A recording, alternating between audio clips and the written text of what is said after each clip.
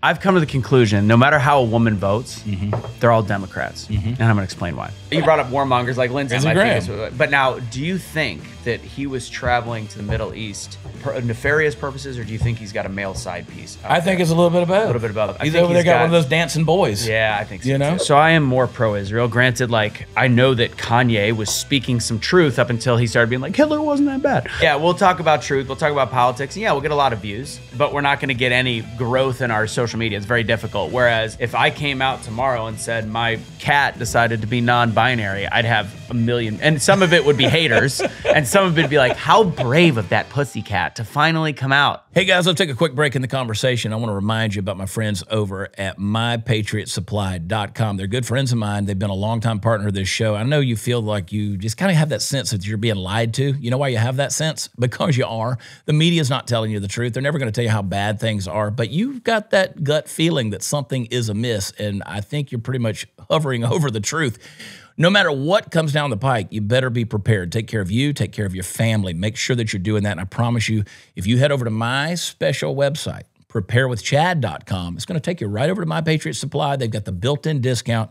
And right now, you can load up with the three month emergency food kits packed with ready hour foods from My Patriot Supply, and you're going to save $200 per kit. I want to make sure that you heard me. That's $200 per kit. That's the biggest savings that they put out there. And you need a kit for every member of your family. Three months of delicious breakfast, lunch, dinner, snacks, drinks, all the stuff you need, over 2,000 calories a day to keep you strong when times get hard. So prepare with preparewithchad.com. It's the biggest deal they, they do. $200 off each kit.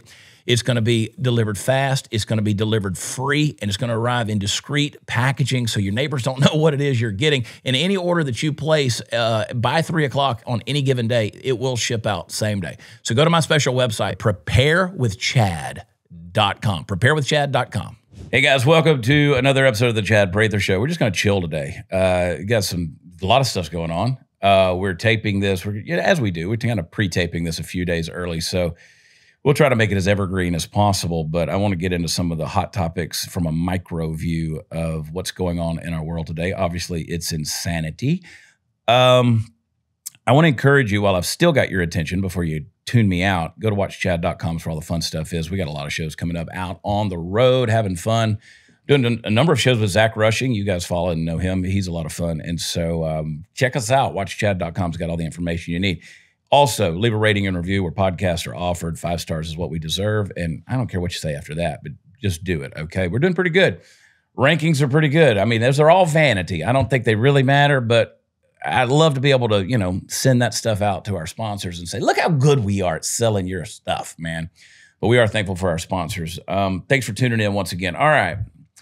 He's been on the show before. I've been on his show. We're buddies. And so I thought this was a good time to spend, to kind of do a chill episode and get real with you guys and just let you sit in on a conversation. Anthony Michael Russo, he is the host of Truth Will Set You Free, Awake Cheat Not Woke. Cheat sheet. Yeah, I know. I was, well, I you've always I've always told you like you've got the best slogans, like the awake not woke.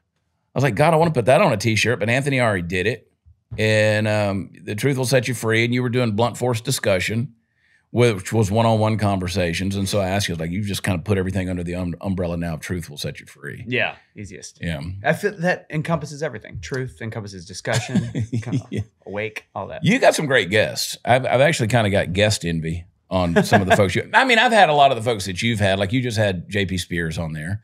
I've had JP. I've known him for a number of years. He's a lot of fun, and um, but you, but it's good. Like I went in when I went in to do your episode, uh, do your show.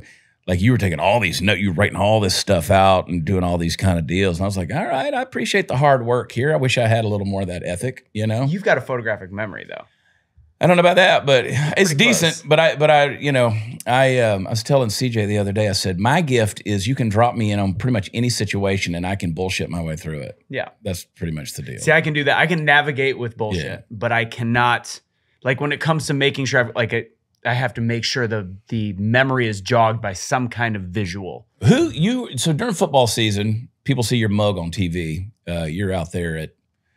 Uh, who- you're you're you're always doing the big football games and Yeah. stuff. Yeah, yeah. You were out there a lot in Colorado doing covering the uh, Coach Prime, Coach Prime, all of his yeah. stuff. How how wild was that? That was I, that was actually insane. So again, I, I've it- COVID took away a lot of my love for sports. Like I just stopped caring. I got Yeah. more into how important it is to get into politics. And then that gig with them, I'm the main MC for for Big Noon Kickoff, and it made me fall back in love with sports and like the storyline of sports. And although the year ended up just absolute garbage for Colorado, Colorado, I think the last game we went to was the only one that was close.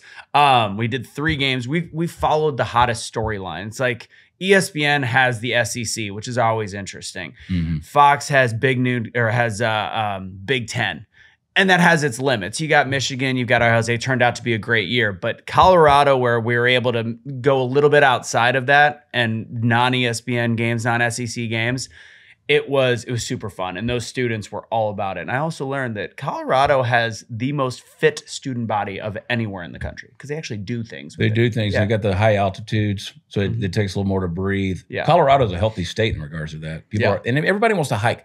Like I dated a girl from Colorado one time, and I'd go out there to visit her, and she said, "Let's go on a hike," and I was like, "F you, hike! I can barely breathe." I, like they sell the little oxygen canisters Yeah. in the stores out there. Mhm. I can every time I go to Colorado, like if I'm there doing a series of shows or whatever event I'm at, by like late in day two, Yeah. I'm like, God, am I having a heart attack? You know, do you get that? The no, I, I, stuff. I have good. Yeah, I'm a. Snow, I don't. I, can snowboard. I can run long distance running. yeah, Uh, so I'm good with. But, but I know what you're talking. Like you can. It feels a little bit different. yeah, But yeah, that's how they train out there. yeah. Last uh, couple years ago, I was doing a. Uh, we were performed at a fair, big fair in uh, Bozeman, Montana, and Steve Helms was there with me playing guitar, and he goes.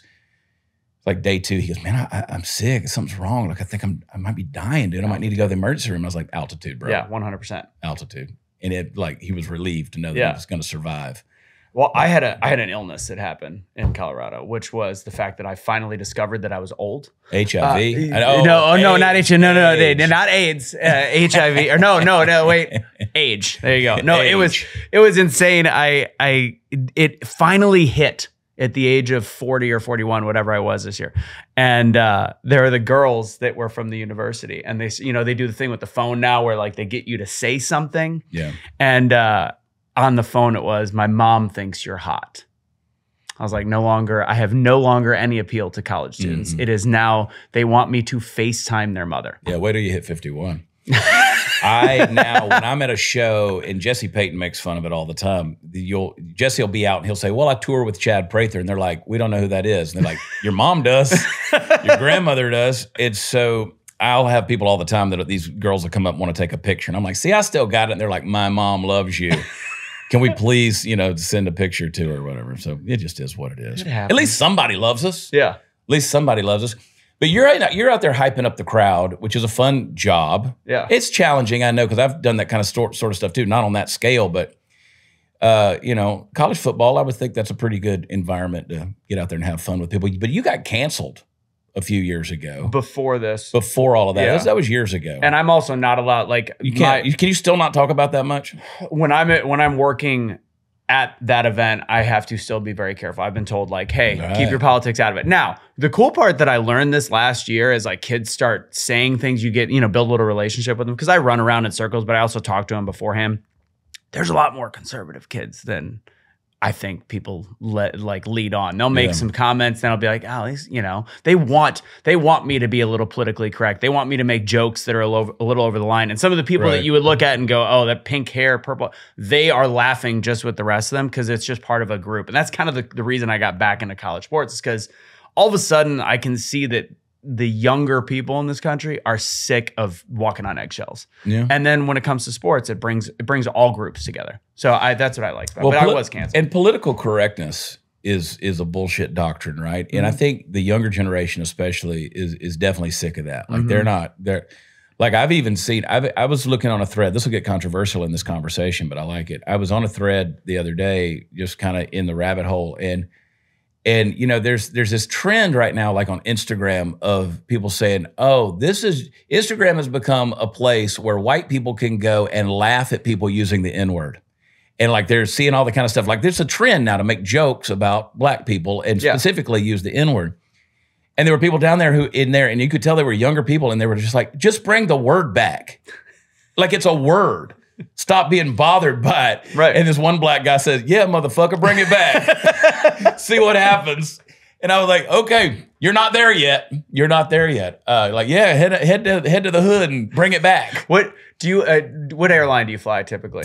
Well, uh, American historically, because I was in DFW, but now that I'm in the Houston area, is United, have and I hate United. Have you seen the videos on the, the? You know, they have the free movies. There's a movie called Blackified. Yeah, Have you seen it? no, It's, it's an eight. I know though. I had to, I, I'm like, there's 30 minutes left in my flight. I, I was watching Wonka, which was actually quite good. was it good? It was actually pretty I've been good. on the fence. I haven't watched it. It's worth it on an airplane when it's free.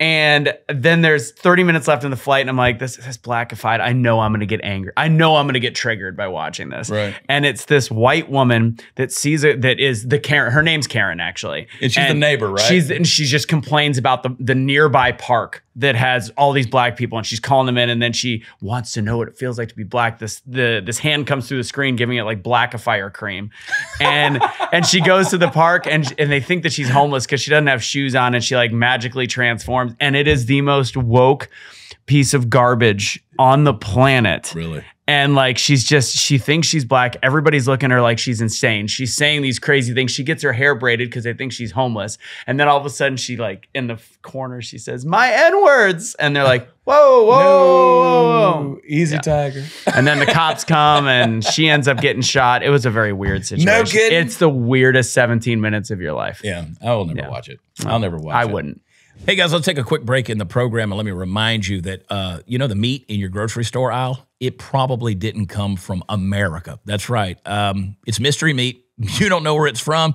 Not only that, but when you see that product of the USA sticker that's on the meat packaging, it just means that it was packaged in America. It doesn't mean it was raised here. So uh, that's not what our friends over at Backyard Butchers are all about. Listen, they're a Christian conservative, Texas based company that's dedicated to delivering not only the best meat, but the best deals and quality of chicken and beef to you.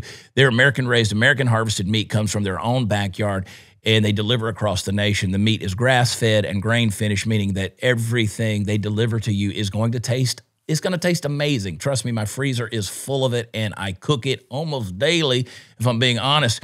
Uh, so cut the frustration in the meat aisle. Go to backyardbutchers.com slash Chad. Save an extra 20% off your first order. And if you subscribe, you get another 10% off plus free shipping. So they got over half a million happy customers across America, hundreds of five star reviews, and an American based customer service team you can trust that you're being taken care of. Again, backyardbutchers.com slash Chad is going to get you 20% off of your first order. And if you subscribe, you're going to get an additional 10% off plus free shipping. That's backyardbutchers.com slash Chad. But I, the internet's wild, dude. I mean, the internet is wild. I was uh, we do so. We're doing an audio only podcast of this show on Mondays and Wednesdays. We do video on Tuesdays and Thursdays. And I the the I, the audios I try to keep it just 25 minutes, and I just hit headlines, give you my take on it. And a week or two ago, I played this clip from 1961. You know how they used to play those infomercials or those whatever public service announcements Yeah, yeah. before a movie or something, and they were like just corny as can be looking back on them. Like Mystery Science Theater 3000 used to make fun of these things all the Yeah. time. Well, this was a deal from 1961 about Ralph taking Jimmy fishing and developing a friendship between a man and a teenager. And uh, it's like, and, and Ralph has a sickness of the mind. It's an invisible disease, but a disease nonetheless. It's dangerous and contagious. Ralph is a homosexual. and the comments in there, people were going, What happened to Jimmy? Jimmy got his guts rearranged. What happened to Jimmy? jimmy got his back, back broken out But apparently it's crazy that like even in 1961, people were calling stuff out. I mean, again, contagious and dangerous. I mean, that okay. But um was jimmy over 18 or was Jimmy I don't think Jimmy was because that, that was the whole point was he was like he showed Jimmy pornography and Jimmy knew it was wrong, but you know how boys are. And so he's like This taking is him real. Yeah, and he's taking him to a hotel room. the, the, the scene ends, he's taking him into a hotel room. Jimmy should have had this conversation with a parent or a teacher. It's like he would pay him with money and favors, you know. He, but Jimmy didn't know he was going to have to pay Ralph back. Yeah, Mm, with his mouth yeah wild, wow and so I'll show it to you when Yeah, we're done. I- but I played the clip of that thing, and I'm like, it, it's funny, like the pendulum starts swinging back and forth about what's okay to talk about, not talk about. I'm one of those guys who just pushes the envelope no matter what. Like I, I had a video that got millions of views on Instagram a couple of weeks ago because I called out the Kansas City shooting, the media on that deal because they wouldn't reveal that the people were black. 100%. And they said it was over age. Well, now they were, they were, you know, I got to sneeze, but they said they were 18 and 22. But they were never going to reveal Look at the light. There you go. there it is. And they were never going to reveal, you know, and that's kind of become a trend in the in the media. And so you call that stuff out. And I think people like are sick of dancing around the narratives. It's they're well, tired of it. It's, like, come on. It's not even sick of it. It's dangerous. Yeah. Like it's like when there is uh when, like I think Michigan State had one, uh the shooter at large, and they couldn't say what the shooter at large looked like because he was black. Yeah. This isn't me being a racist. This is called just common sense. It is right. And it's gotten to a point where it's like Kansas City shooting. I you you know that it's gonna dis the story's gonna disappear. Like Right. 20 people were shot in it, and it, but it was it was BS gang violence yeah. and it's like people are are sending their hopes and prayers and saying we got to talk about gun laws. These are criminals. I saw a great meme today with a wolf eating a sheep and it was talking about how the wolf they they've come to find out that the wolf did the damage by biting the sheep so then the sheep decided they needed to get rid of their teeth because the teeth were the bad thing. Oh, guess wow. what? The wolf still has the teeth and meanwhile the sheep are all toothless and they couldn't fight couldn't fight back anyways it's Yeah. the perfect analogy of what's going on is like wh- whether it's gun rights gun control or actual avoiding any kind of racism which it's not racism when you're just calling can't say it can you say calling a spade a spade anymore or is that racist I think you can. you can okay On I this show you can. okay For sure. Yeah. Yeah. No, I, but that's a perfect example. yeah Uh, the uh, last week there was a shooting in Washington D.C. at the Navy Yard, and uh, was a cop that got shot, Yeah. and and they were like, "We're not going to release." You know, well, they didn't say that; they just said a suspect at large. means they're black means they're black, or a you know because again, minority. and, and again, people say, "Well, that's racist." No, no, no, no, no, no, no, no, no. The problem is not that I, I, I don't care what the color of your skin is. I mean, if you're a perpetrator, you're a perpetrator. But if we need to find you, let's use some identifying markers.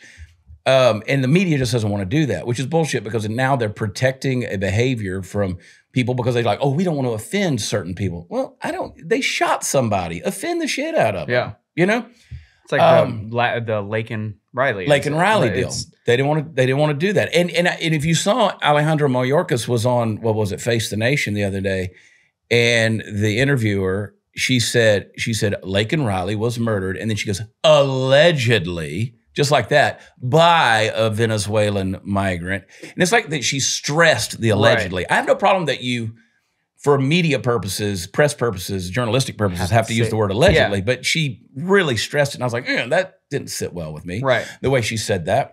And uh, then the FBI came out with a tweet where they had they were talking about retail theft operations, and they had the stock photo of white girls putting the cans in their overcoats. And one of the comments down there said, "No wonder you can't. This doesn't end. You guys have the you're identifying the wrong people."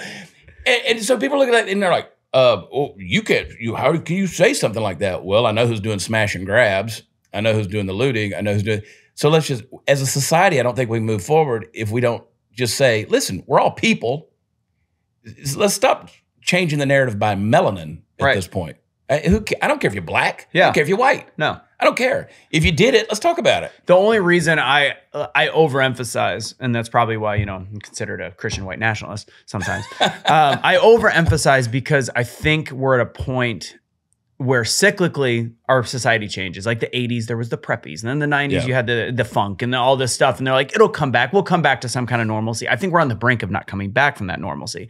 And if we don't correct the narrative on what is actual, what is causing these crimes, and yes, white people commit crimes too. Statistically, it is so drastically per capita on more of a minority base or uh, uh, illegal alien. Can I say alien either? Illegal uh, migrant. I, I, know. Yeah. Um, yeah. So all these different things. It's like if we don't call out what's there and and force it in the face like they're doing on the 90% of the media that's that's perpetrated by the left, then we don't have a fair conversation with people. It's like when you're watching what's going on on uh, like a Newsweek post or any of these leftist things that are calling out Trump for stuff that doesn't even exist Yeah. the the comments are what scares me. And if we don't get some sense of normalcy back to like there there's never been objective journalism. I understand that, but 20 years ago we could be human beings and have a difference in opinion and have a conversation. Yeah, a And- dialogue. And, we are past that. If, if politically we are so down the line with uh, you know we just can't there's there's only the middle ground that can have the conversation Mhm. and then otherwise we're yelling across back and forth and it's Yeah. just it's dangerous Yeah, it's got to go away.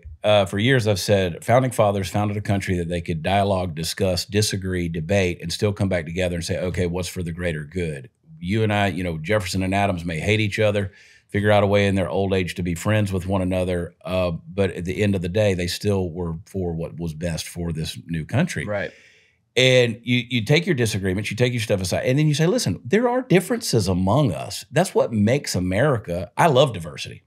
I love. I've spent 20 years of my life in diverse cultures, in third world cultures. Uh, you know, I'm.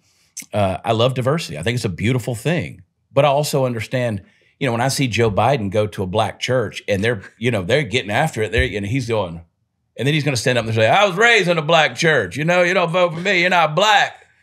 And y'all are okay with that? Yeah. Y'all are going to give that a pass? It's it's like, no, Joe, you don't fit, bro. he Like, did the fried chicken thing last week dude, he too. did the fried chicken thing, and I'll give Stephen A. Smith He props on that, which Stephen I A. Smith, rarely he do. confuses me because sometimes he does some things. Stephen A. Smith, I mean, I'm like, he's not completely blind. Like he's not. He sometimes actively chooses to be blind, but he did a good job with the He fried did chicken. a good job because Yeah. it was like if Trump had done that. For those of you who don't know, Joe Biden did a little commercial, little promo thing where he sits down with a black dad and two young teenage boys, the sons, and they're eating fried chicken at the kitchen table. And he's like, "What do, what do you want? What do you want to do? What, do you, what, what are you going to do with your life? You know?" Yeah, yeah. and you know, the dad's kind of directing the conversation. If Trump had sat down with, you know, like Pete Buttigieg, you know, looking for hot sauce, eating fried chicken with Al Sharpton, you know, back when the the primaries were going on. with or without lube. I don't want to know where that chicken's been, son. uh, yeah. I'll take a drum, please. I'll take a I'll take a drumstick. We're gonna Buttigieg this chicken's. Never mind. Yeah. But uh. Trump would have caught hell for that. Oh, it would have been terrible. And a perfect case in point, uh, just a little while ago, before we started talking, I, I ran over to Twitter because that was the only thing that this, this will timestamp this. You'll know when we taped this. This Facebook and Meta, Instagram, everything was down this morning. Apparently, everything in the world was down. Solar flares, folks. Remember, it's solar flares. Um, I went over to Twitter, and last night, about twelve thirty at night, I, I posted. I said, when they say uh, threat to democracy, what they mean is threat to their agenda. And somebody said, no, we're against, you know, Trump is the threat because he said he is going to do away with the Constitution and be a dictator from day one. That was the interview with Sean Hannity. He did not, that is not what he said. As a joke, he said, oh, yeah, the only day I'd be a dictator is he day can't have a where- sense of humor. yeah, He's not you- allowed yeah, to. You cannot. You're not allowed to. He said I would close the border. Right. I, I basically just said I, day one I would just make sure that happens. But they're okay with Joe Biden, who's flown 320,000 illegals into the country in the last year, flown them in. Yeah. I mean, so they can lessen the border encounters and make their numbers look better. Right. The and you know the black uh, going back to the fried chicken thing. The other thing is that it's it's still it's a perception. So Biden, I make you bet that's the only time he sat down with normal black people in a year, two years. Trump will have fried chicken with black people without cameras on. Right. Like that is actually that is a real. he, as much as Trump is more of a silver spoon baby, which I've seen now all those ads. Like Joe Biden was a working class man. Right. Trump was raised with the silver spoon. Yeah, Trump st- just because somebody is wealthy and raised wealthy does not mean they can't be a decent human being. And I just think that that kind of narrative, like the uh, the Fannie Fani Willis situation in Georgia, that's some of the articles that are coming out today. It's like this woman blatantly shouldn't be actually have any say in that trial Right. in Georgia whatsoever. And meanwhile, people on the bottom of these in the comments, because that's where I like to look, Me they're too. they're just they're all they're going is who cares what she did? We know Trump is guilty of da da da da. da." I'm like, Yeah. "Well, really? Like, is that is that is that how you are you rationalize your whole entire life at this point? Yeah. Meanwhile, again, Biden is Biden is doing such egregious things, and we're in Texas, so let's talk about this. So You talk. I'm to pour. Yeah, I don't know if you it. need any of this. You got to gonna- work. You no, got to work tonight. I'll I give you a sip. I I'll get it, it'll lessen the blow of getting yelled at at the rodeo. his his girlfriend Kelly is a barrel racer, a quite successful one, and the Houston Rodeo is going on, and he's got to be her bitch. That's a fact. She's a hot girl though, so eh, listen, if you're going to be somebody's bitch, Kelly's the one. Kelly's the one. What are we drinking? That it's Woodford Nice. with cheers. Cheers. Kelly trips me out, dude. You never know what's going to come out of her mouth. The funniest thing I ever heard her say, we were all out there that that thing after that event that night. She goes, "You know," she goes, "I love Anthony." She goes, "He's got husband dick." Like, okay, girl. So I've been wearing a lot of short shorts. We'll get back into my Texas thing in a second. So I've been, and, and I didn't realize I didn't quite know where the angle was going to be. So I know Kelly, I know Kelly is going to give me trouble uh, for for having the little leg showing. Um, It's so okay, show that leg, baby. So- Mom, mom's there, and there's biscuit. Biscuit, There's biscuit, Biscuit right there. heard me talking about legs. Biscuit's like, I'm coming up. Listen, collegiate moms all over the country are going wild for Anthony Russo's leg. You're welcome. Leg action. Texas. welcome. I mean, the, it's the calves. But anyways, Yeah. um, so today, because we're at the rodeo, we're at the hospitality area, and it's all like she did a Snapchat, and it's all guys in jeans, jeans, jeans, jeans, Right. and I'm wearing like short workout shorts.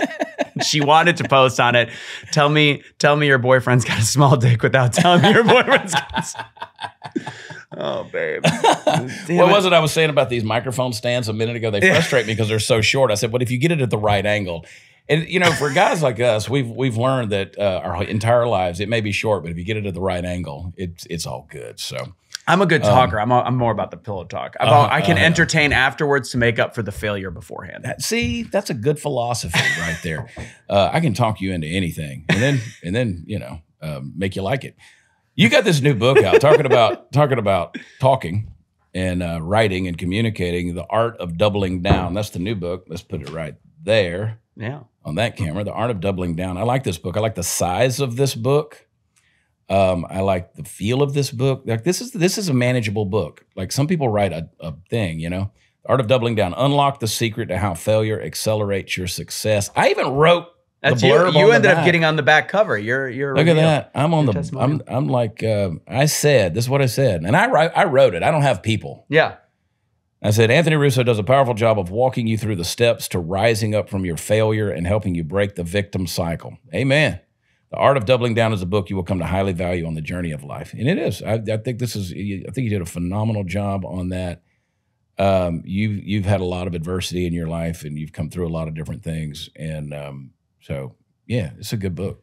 You know it's cool? I went to uh, I went to a speak. I was in the Great American Speak Off. It's a Pete Vargas, Grant Cardone thing. Mm-hmm. Um, it's like a American Idol for speaking, and I mean, I brought that with me, and that's kind of my topic that I talk about. I love politics. I, I light up when I talk about politics more than anything else. Yeah, you but I- like it. I like it probably more than even motivational stuff, but um, I talk about failure because my dad was a compulsive gambler. What was interesting is this room. So it was 5,500 people auditioned digitally, and I made the top 135, I believe. And you got to go to Florida, and it was like a free conference. Got to see Grant. I mean, anytime, even though I didn't make the top 30, um, anytime you get to see Grant Cardone in a room of 100 people talk for 45 minutes for free, it's worth it, and it's Right. you know it's kind of cool to see.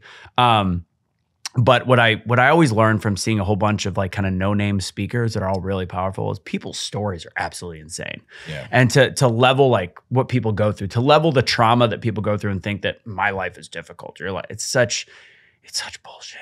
Like you look at people that are in wheelchairs or br- this one kid, this one guy's got brittle bone, dis- br- br- brittle bro- bone disease, and he's out there like rapping and and also having these amazingly powerful positive talks i'm like your life's really not that bad so my my whole like my whole life is uh or my whole book is and concept and speaking is talking about overcoming failure Yeah. and being willing to fail and realizing there's a whole bunch of mistakes you go through in life politics you could look at the same way if we actually analyze our failures instead of completely sweeping under the under the rug which is Democrats and Republicans do the same damn thing. Sure they, they do. pretend like their you know corpses aren't really dead, um, and that's just the whole philosophy. Is is I use my dad's gambling strategy because he was handicapped and a compulsive gambler to look at life, which is you double your bet every time you lose. Actually, analyze the failures, don't sulk in them. So Yeah. that's what the book's about. Eventually it comes back around. One hundred percent. it comes back around. Hey guys, let's take a quick break in the show and uh, let's talk about my friends over at Patriot Mobile. You know, for 10 years, they have been America's only Christian conservative wireless provider. And when I say the only one, trust me, they are the only one.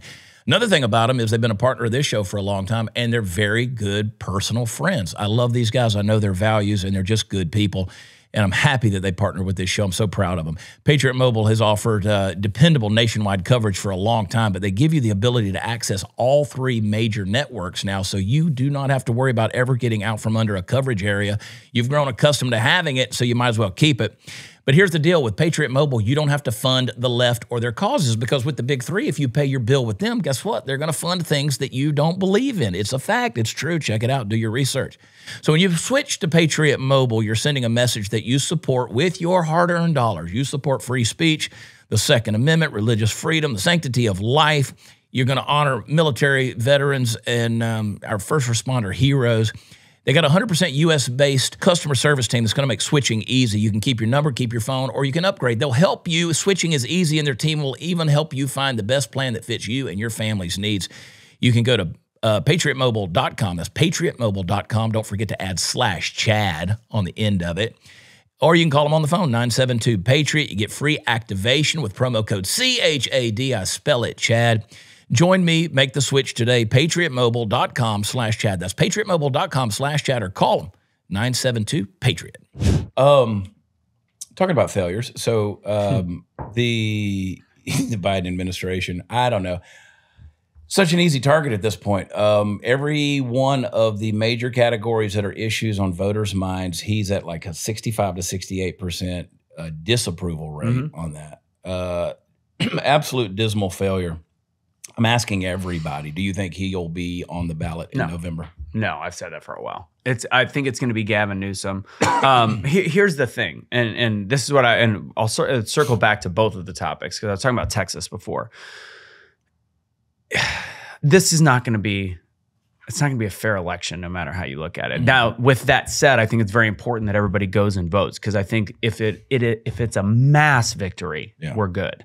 Um, and I and I've told you this before. I was never like the ultra. I'm not ultra MAGA. I'm MAGA, but I'm not ultra MAGA. Mm-hmm. Um, but he's the best option we've got clearly on our side.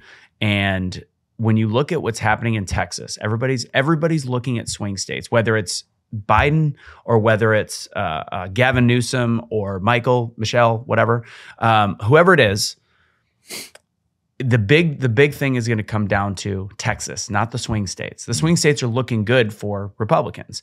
Texas is has 100% become a red, uh, continued to be a red state. They were yeah. saying it's going to be purple. It's going to be purple. It's not. It's it's red. However, we've got all these illegal immigrants that are heavily focused in the state of Texas. Mm-hmm. And everybody's sleeping on Texas. And I know a lot of Texas voters that are like, oh, my vote doesn't matter. Screw it. I'm not even going in. We, we lost the last election because they cheated. So there's going to be some disenfranchised voters that won't show up. Right. And then we've got, a, if, if 20% of the 3 million in Texas alone find a way to, to vote, all of a sudden that swings Texas. And all those swing states mean nothing because Texas turns blue. Yeah. That's my fear. Yeah, that is a fear. And if you look at uh, Fort Worth, has always you know, where you live in that area. Uh, Fort Worth, and I am from that area for a long time. Um, it, it, it, teeters on mm-hmm. the fence of, of, of, being blue. Dallas is blue. Uh, Austin is certainly blue. San Antonio, El Paso, Houston, all blue. But we have I don't know what ten or a dozen cities uh, of populations of over 100,000 mm-hmm. that are considered our small towns, but they're not that small. They're pretty large. Those kind of hold the line in terms of keeping Texas red. So you have to keep holding out hope that that's going to happen. Um, there's also those people out there who aren't going to vote for Trump because of the elevation that he gave Anthony Fauci or the warp speed or promoting the the vaccine they're just that's absolutely unforgivable. I mean, I've been people get pissed at me because I'm like, he's not going to apologize. I no, want him to apologize, but he's not going to. He's just not going to. And I've said over, I've said before, I'm like, you're gonna have to get over that. He might when he's president. Yeah, and people, people like, well, you just, we're not gonna get over it. I mean, listen, um, people that want to come after me, I ran for two years for governor on the platform. I was pushed to run on the basis of, of shutdowns yeah. of what happened with the um, with COVID. So trust me, it's a very dear issue to me. I mean, I lived in that meat grinder for 19 months. You mean the flu, by the way? Because last week it it it's treated changed. like the flu. It's, tra- it's treat it like, like the flu. The flu. Yeah. And I've said it's the flu, and people are like, "It's not the flu." I understand that, but if you're treating it like the flu, it's the flu. It's the flu. If it sneezes like a duck. Yeah. So there you go. Um, but there are people out there who, uh, you know, they're either stayed on the DeSantis train or they're like, well, Trump's so immoral. Uh, immoral compared to the Biden uh, regime that, you know, they can't identify what a man or a woman is and they're willing to lop off the genitals of children and they're going to expose them to pornography. They're going to bring illegals into this country literally by the millions and do absolutely nothing about it. They're going to call those people newcomers and you're an ultra MAGA extremist an insurrectionist, a domestic terrorist, and those people coming here are newcomers. Yeah, I, I don't like your options are.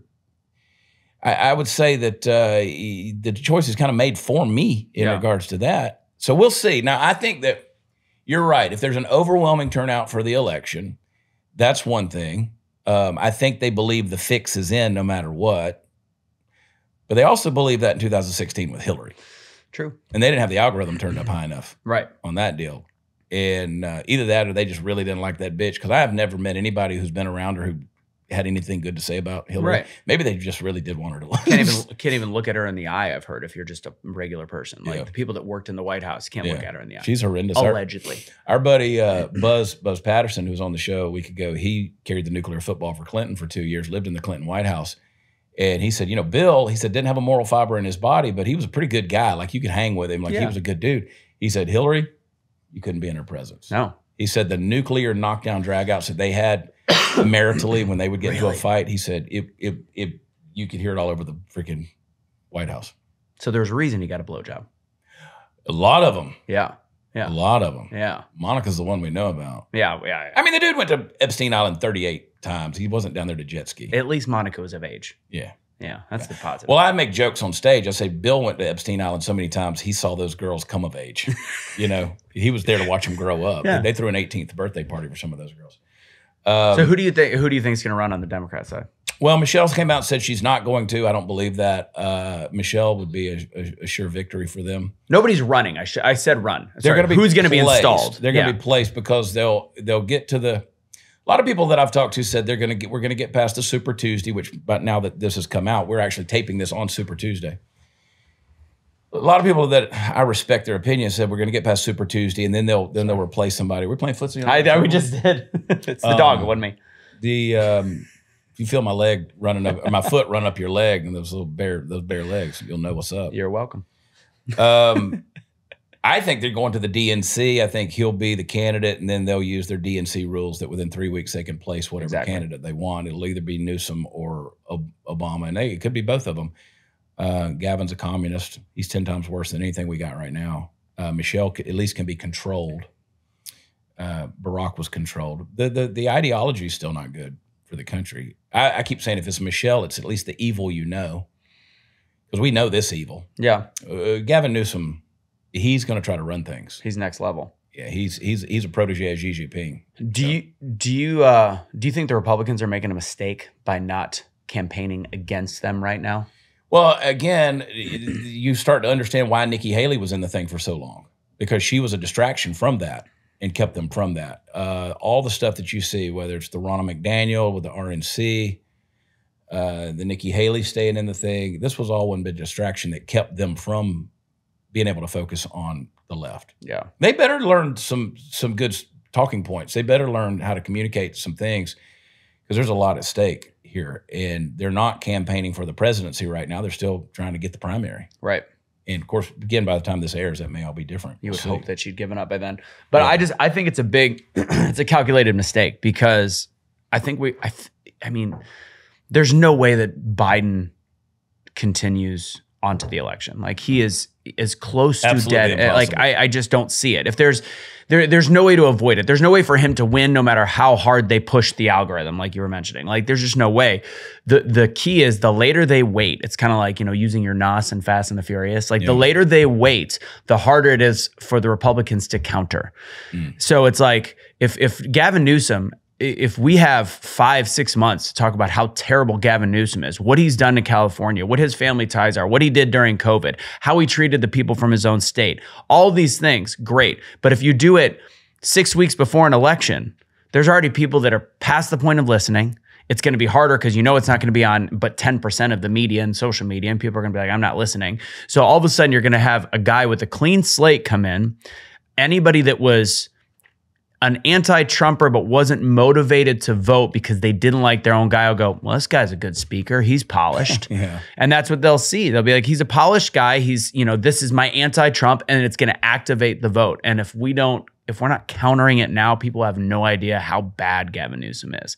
And I've been saying that for months now. I'm like, we need to start campaigning against Gavin Newsom. I think people know Michelle Obama a little bit uh, enough. So I, I just think I think it's a huge mistake that we're thinking that we're still campaigning against Biden, and that's that's what's going on. They're kind of laughing at Biden, and I do too. I think we all laugh at what Biden does and how he talks and what he says. Yeah. But the Democrats are relying on that in my belief system right now. Hey guys, let's take a quick break and let me tell you about something that may change your life. There's a silent epidemic that's going around. That's right. It is affecting over 100 million Americans. It is called a fatty liver. If you're feeling sluggish, if you're gaining weight, uh, man, your liver is tired. You've thrown everything you can at your poor liver, everything from cholesterol, alcohol, toxins, heavy metals, statins, cigarettes, and your liver's doing its best to work for you uh, why don't you help it out? Okay, you got that sluggish, fatty liver, and you don't have any energy. You're feeling fat. All of that stuff's going on in your life. It's important to protect your liver, and you need to start today. You can do that with our friends over at Liver Health Formula. Let me tell you something. They have an all natural supplement which contains 11 clinically proven botanicals that help recharge and protect your liver. The company's already helped more than 2 million customers, fellow Americans like you with that fatty liver, and they've used that product. And and let me tell you something, my, my own brother and I have had amazing results off of it. My brother's doctor said, yes, absolutely, take this stuff. It's good for you because he was having issues. So I want you to join us. And uh, right now, when you order, you will get five free gifts. That's right, five, five free gifts uh, from them when you order uh, your your liver health formula. So that's pretty cool. So I want you to go to getliverhelp.com, getliverhelp.com slash Chad. Claim your free bonus gifts with your order today. That's getliverhelp.com slash Chad. Yeah, they want it. They want to make him look like the buffoon, and then Yeah. they trot somebody in there who, That's you know. Gav, Gavin is slick. He's got the big smile. He can talk. And, And he did. I mean, he to me he won the de- he won the debate against DeSantis because he somehow managed to never have to answer some of the hard questions. He slithered out of it. Like DeSantis won based on the fact that California sucks compared to Florida. Yeah, on the numbers game, He lost. DeSantis won Yeah. that deal. But yeah, on the on the way he avoided things, He's good. yeah, He's really good. slippery, Slippery as hell. slippery. That's a pro- to me. That's a problem. That's a huge problem Yeah. because he's they're gonna see they're gonna see that version of him without the other stuff. Well, and people are so blind to stuff. You know, the other day somebody said to me that California's doing great. We can deal with our migrants. They're here. They're working. And I'm like, no, San Diego County is broke. They've run out of their money, and now they're doing mass releases from the buses right in the middle of the street. Yeah. we we showed that on the show a couple of weeks ago. Um, and the guy said, "We're it's not broke at all. It's working perfectly." And I was like, "Dude, here's here's nine articles that say exact same thing Yeah. this week, and they're they're they're blind to that It's horrible. deal." I posted the thing about Biden flying the people into the country, and somebody said that's a lie. Study up, bitch. I mean, it's it ain't a lie. go to an airport right now too. And I mean, Yeah. again, again, these might people might be people that are already in the country that have already, but they're those yellow folders. I made the joke on my because my personal page, I try to not get overly political, and and I posted, I I did it as a question, like, what are Yeah. all these yellow folders and people without luggage? I saw that the- post. Yeah, I know what they are, but it was interesting. Like people are all con- they know what they are, and they're everywhere. Like Mm-hmm. every, I mean, San Antonio is the worst. I think San Antonio and Colorado oddly had enough. But I have an interesting story. When I was working state college uh, in Penn State, I went to go try to rush to the airport after the event because I was trying to make it back for a conference uh, that I didn't think I'd make it back for. So I was trying to get an earlier flight. I didn't hit the standby because there was 15 seats available. I'm like, all right, and this is Pennsylvania yeah. to Texas.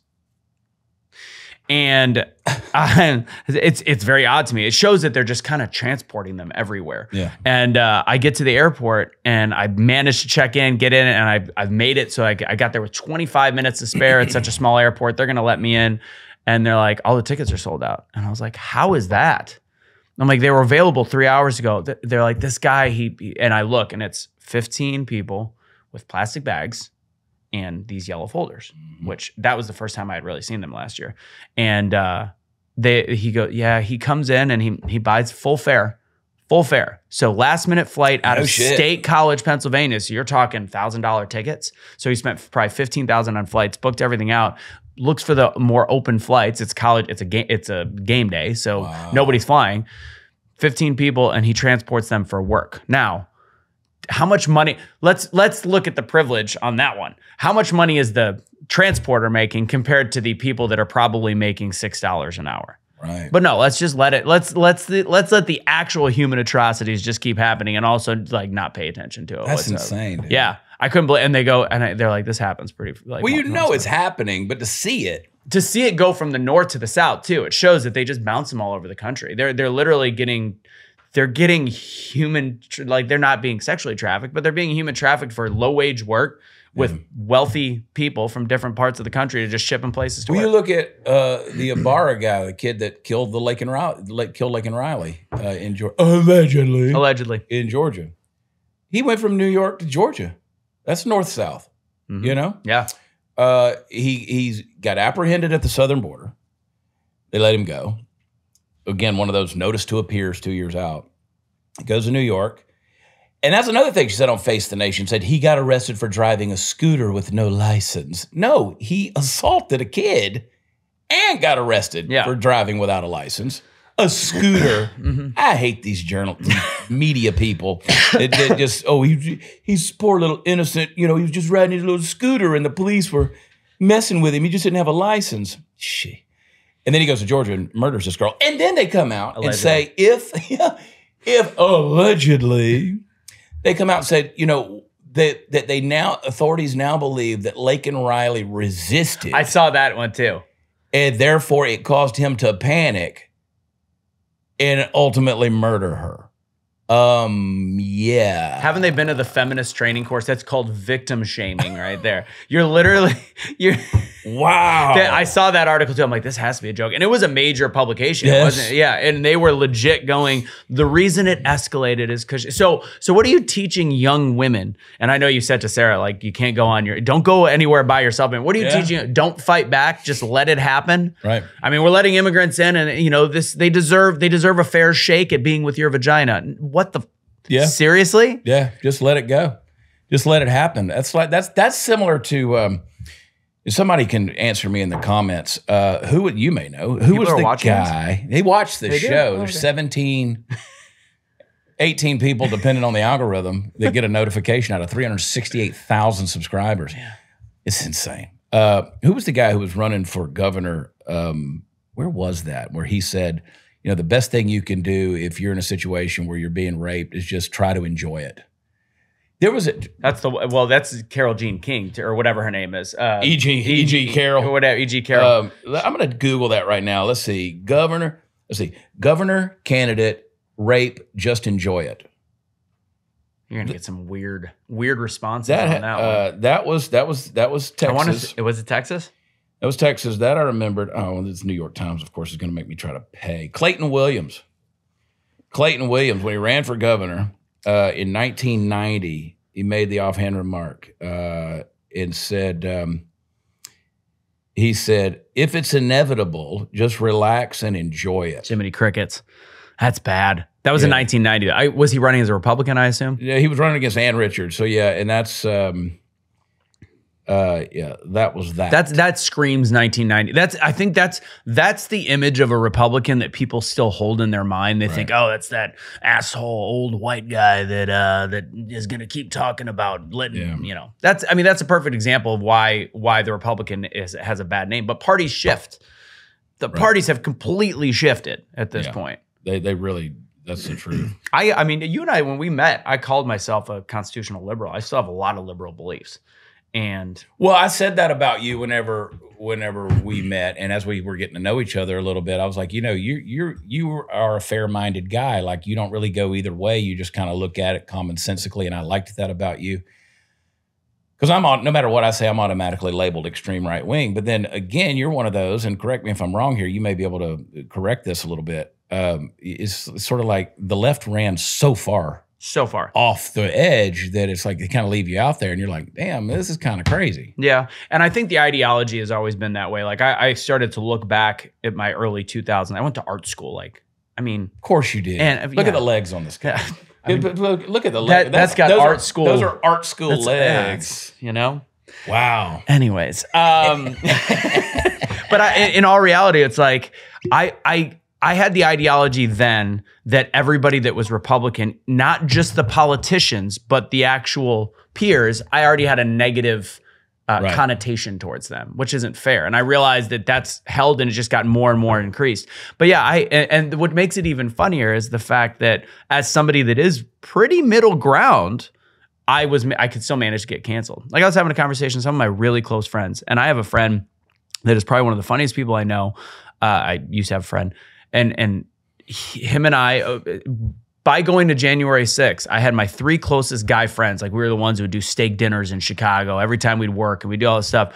I haven't spoken to any of them outside of one time at work with one of them. Besides that, off the text chain, off everything, off the group poker, off all of it, gone. And it was literally all because of an ideology. And, you you were at January 6th, which basically I'm gonna I'm gonna paraphrase this. You basically were on a date.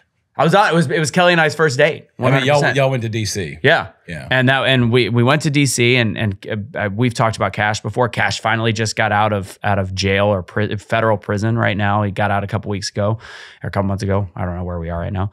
Um, but it's like it, it- it's just all these weird narratives that are painted against regular Americans that have caused me to start becoming more and more conservative over time. I'm a two-time Obama voter, which was horrific looking back.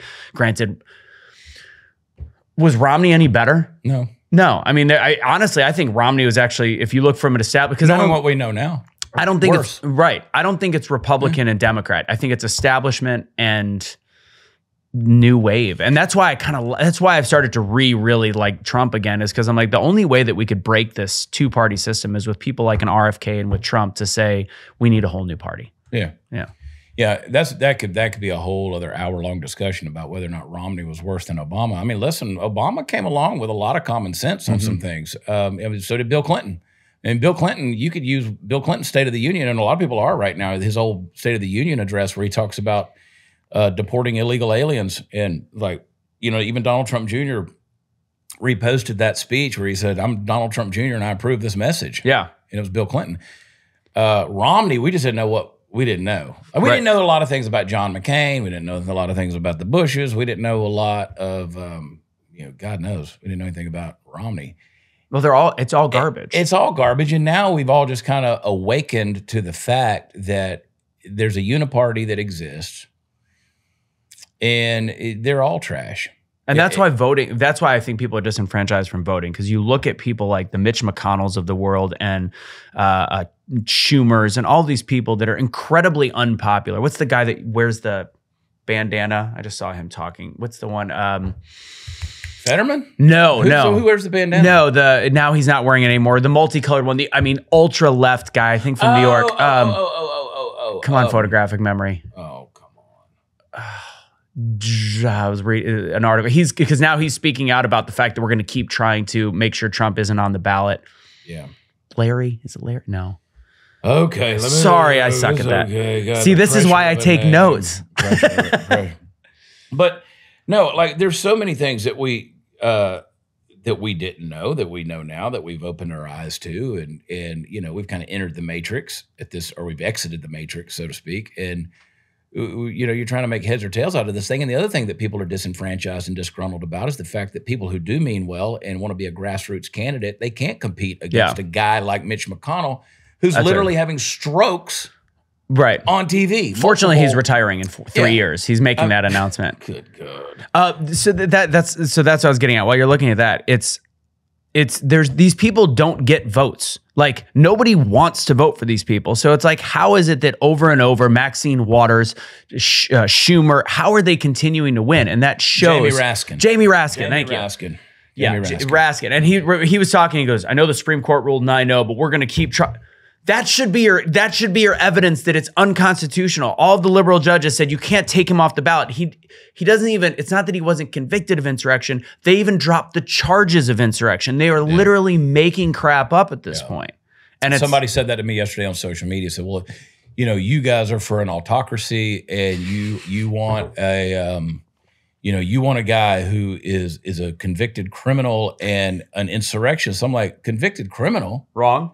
Wrong. Where? Wrong. Show me. Yeah. Show me where he was charged with insurrection. Show me where he's been convicted of anything. They said it once on the news because that was an original charge that Fani, Fanny put out there, and then it was retracted because there's no way to charge him You can't for charge him. insurrection. But it's already in the brains of the And it gave him a talking point. It gave him a talking Give point. him a talking point. It's just like on the right, people keep saying, we always say, yeah, Merrick Garland said that parents are, are domestic terrorists. It's not actually what was said.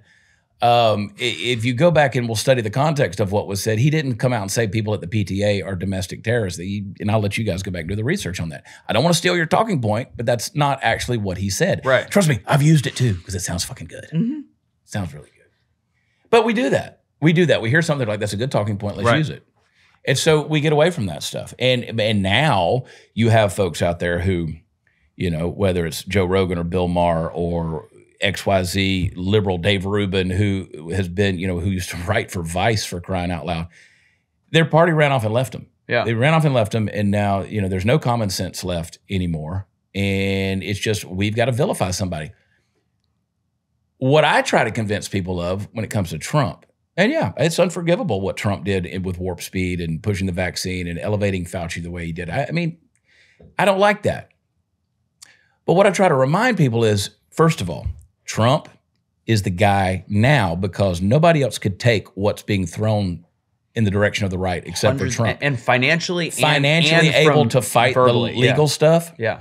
Uh, I mean, it's it's water off a duck's back with him. Uh, I can't say he doesn't feel the pressure. Of course he does. He's still human, but financially to be able to deal with the, the lawfare, uh, the uh, the fact that he's not a strong conservative. I mean, he's been a Democrat his whole life. He's Yeah. not a he's not a conservative.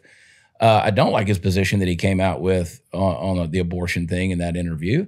And eh, you know, here's a guy who, um, the left. I'll say it this way: people, nothing unifies people more than having a common enemy. Yeah. Right? 9-11, they flew into the towers, and we were like, we were all together on that deal. We had They a common. axed down building seven too. Yeah, yeah, exactly. we had a common enemy. Yeah. Um, and so it unified us for a day or two. And that's what's happened with the left. They know that. They know that if they can vilify Donald Trump to that point, a guy who was in their world, they knew him. He was part of them. I mean, he was friends with the Clintons, friends with all of these different people. And they know him. Yeah. And they're like, oh, no, no, we got to make this guy evil. He's got to be the embodiment of evil. Yeah. And that's what they did. Yeah. And they use the word the, the tag words, you know, fraud. Yeah. Committed fraud. What was the fraud? It was fraud. In New York, it was fraud. So who did, who is the victim? It's, there's it's Yeah. fraud. It's fraud. Or or 2000 mules. It was debunked. Cool. Uh, so how is it debunked? Uh, I just told you it was debunked. We told you. you can't just make up words. Or- or, you know, can't just uh, use words and think. or that they want to tell you they want to tell you that his uh, estimation of Mar-a-Lago, you know, is is only worth eighteen million dollars. I'll buy it today. I will it- find a way to get I- I- Let me tell you something. I will go if if if if you could buy Mar-a-Lago, which by the way, I will be at Mar-a-Lago uh, April third. I'm doing comedy Nice. in Mar-a-Lago. Kari, along with Roseanne and um, uh, Kari Lake, invited invited me to Oh, come that's to awesome. her event. So um, Trump will probably be there. We'll see. See if we can make him laugh. I don't know.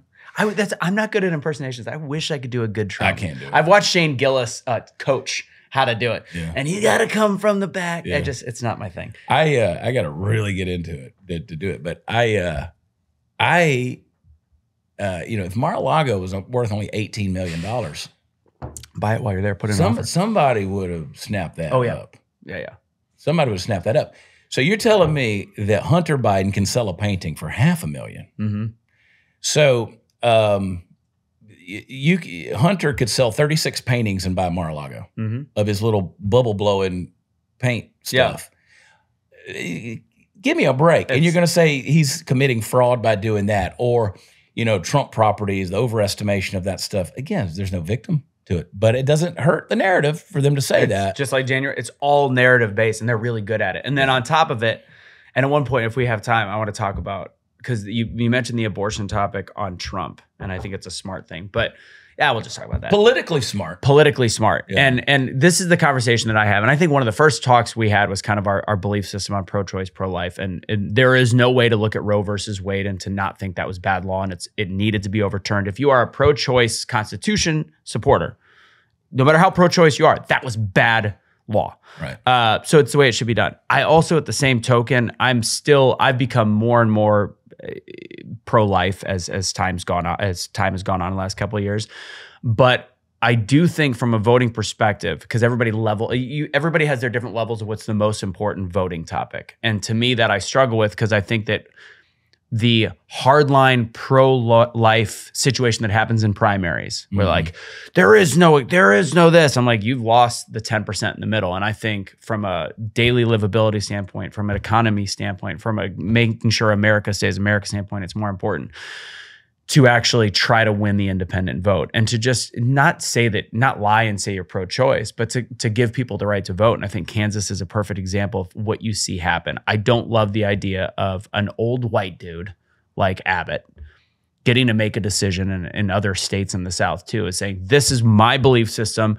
I was voted in. I get to make the decision I think it should be. I think it should be a ballot item. Kansas is a very red state, and it voted 56, 44, I think is what it was, or right around those, um, in favor of being pro-choice. Mhm. And I think finding a open, slightly open-minded cutoff and coming to a, a, a middle ground is and making it a ballot item is the best way to at least make it a conversation for both sides. And at the end of the day, it's a religious belief that we have, that I have, that makes it wrong Mhm. Our country still has freedom of religion, whether we think that's wrong or not. Scientifically, there is people that will fight all the way from conception is when life begins to when the baby comes out, which I think is absolutely ridiculous. But there is it's a Yeah. gray area. So if it's a religious discussion, I have trouble forcing it based on the decision of one governor. That's why I think it should be a ballot item with obvious restrictions based on somewhat common sense. Yeah. And I think Trump did that. Trump had that conversation well to where he can't, that can't, that's not another thing that could be used against him. Yeah, and, and I, politically it was smart. I agree with that. Do I like it? No, but at the same time, I, to be fair, I and I'm on record saying this. Um, these are the sound bites that people try to use against me.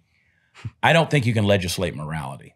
So you you you know pass this edict from on high that says okay abortion is le- illegal and you automatically save all these lives and and so on. What I would rather do is live in a world where we have a value system where people see abortion, whether it's a right or not, they Right. see it as wrong, Right. and and they go, yeah, I'm going to choose life in in this instance. And people say, well, what about the schools? We got to get all this crap out of the schools. I, I think you got to get your kids out of the schools. Yeah. I mean, if this if, if the, we turn the schools, this is something I've caught a bunch of shit about over the years. Listen, the schools belong to the state. The state's going to run it the way they want to run it. And you can say, well, if my kid's in there, then I'm going to go in there. I'm the parent. Well, if you're the parent, then you educate your kid. I can make that argument. The state's going to run it. If the state says your kid's got to get vaccinated to go to school, you're probably going to have to get vaccinated for the kid to go to school. Well, I can file an exemption. Yeah, but you shouldn't have to do that. Shouldn't. I I shouldn't have to ask the state's permission on how I treat my kid medically. Right. I've caught a lot of shit over that over the years by saying things like that. Uh, you say, well, they're need to pull the pornography out of the schools. No, you need to pull your kids out of the schools because the teachers' unions, the people who develop the curriculum, the people who are writing the books, all of that, they're they're going to bombard your kids with brainwashing. Yeah. And and the poor teachers out there teaching this stuff, they're getting bombarded with it too. So, you know, I, I don't think you can legislate morality. I wish we lived in a society where And it's not getting We're- any better. no, Morality is never going to to get any worse. better. And the teach like that that group is the the lifelong school group. The ones that's like I went to college for ten years to be a substitute teacher. These are the people that have been indoctrinated past the point of all return. I used to make fun of homeschooling, and now I'm like I don't know if there's another way. The only reason to go to public school is if you're an athlete. In all reality, in my opinion, and then now there's ways of still playing summer sports. There's ways of still doing there's it. ways, but it's harder. But at the same time, it's like we have got. I mean, the the educators are. They used to be heroes. Like, oh, the teacher, we hold them up on high. They are not by and large, but as a percentage, the the most indoctrinating, sickest, twistedest group in Yeah. terms of morality. Unfortunately, I heard somebody, I'm trying to remember who it was, he was a pro athlete, he was a pro football player, and he said his son was like a teenager. He said, No, we homeschooled. He said, and I haven't let him play organized football. He said, but he'll go to college and play football. He said, I've trained him. He'll be good to him. go. He'll He said, the he said, I taught him how to do it. He said, when he when it's time to try out, he'll, Yeah. he'll make the team. probably way better on the brain. He'll play football. Yeah. yeah. And I'm like, well, that's an interesting concept. Yeah. Interesting concept. Which Should again, you know, we put a huge emphasis on sports almost to the point of deifying it, right? Of, of saying, oh, this is my kid's got to be involved in all this kind of stuff.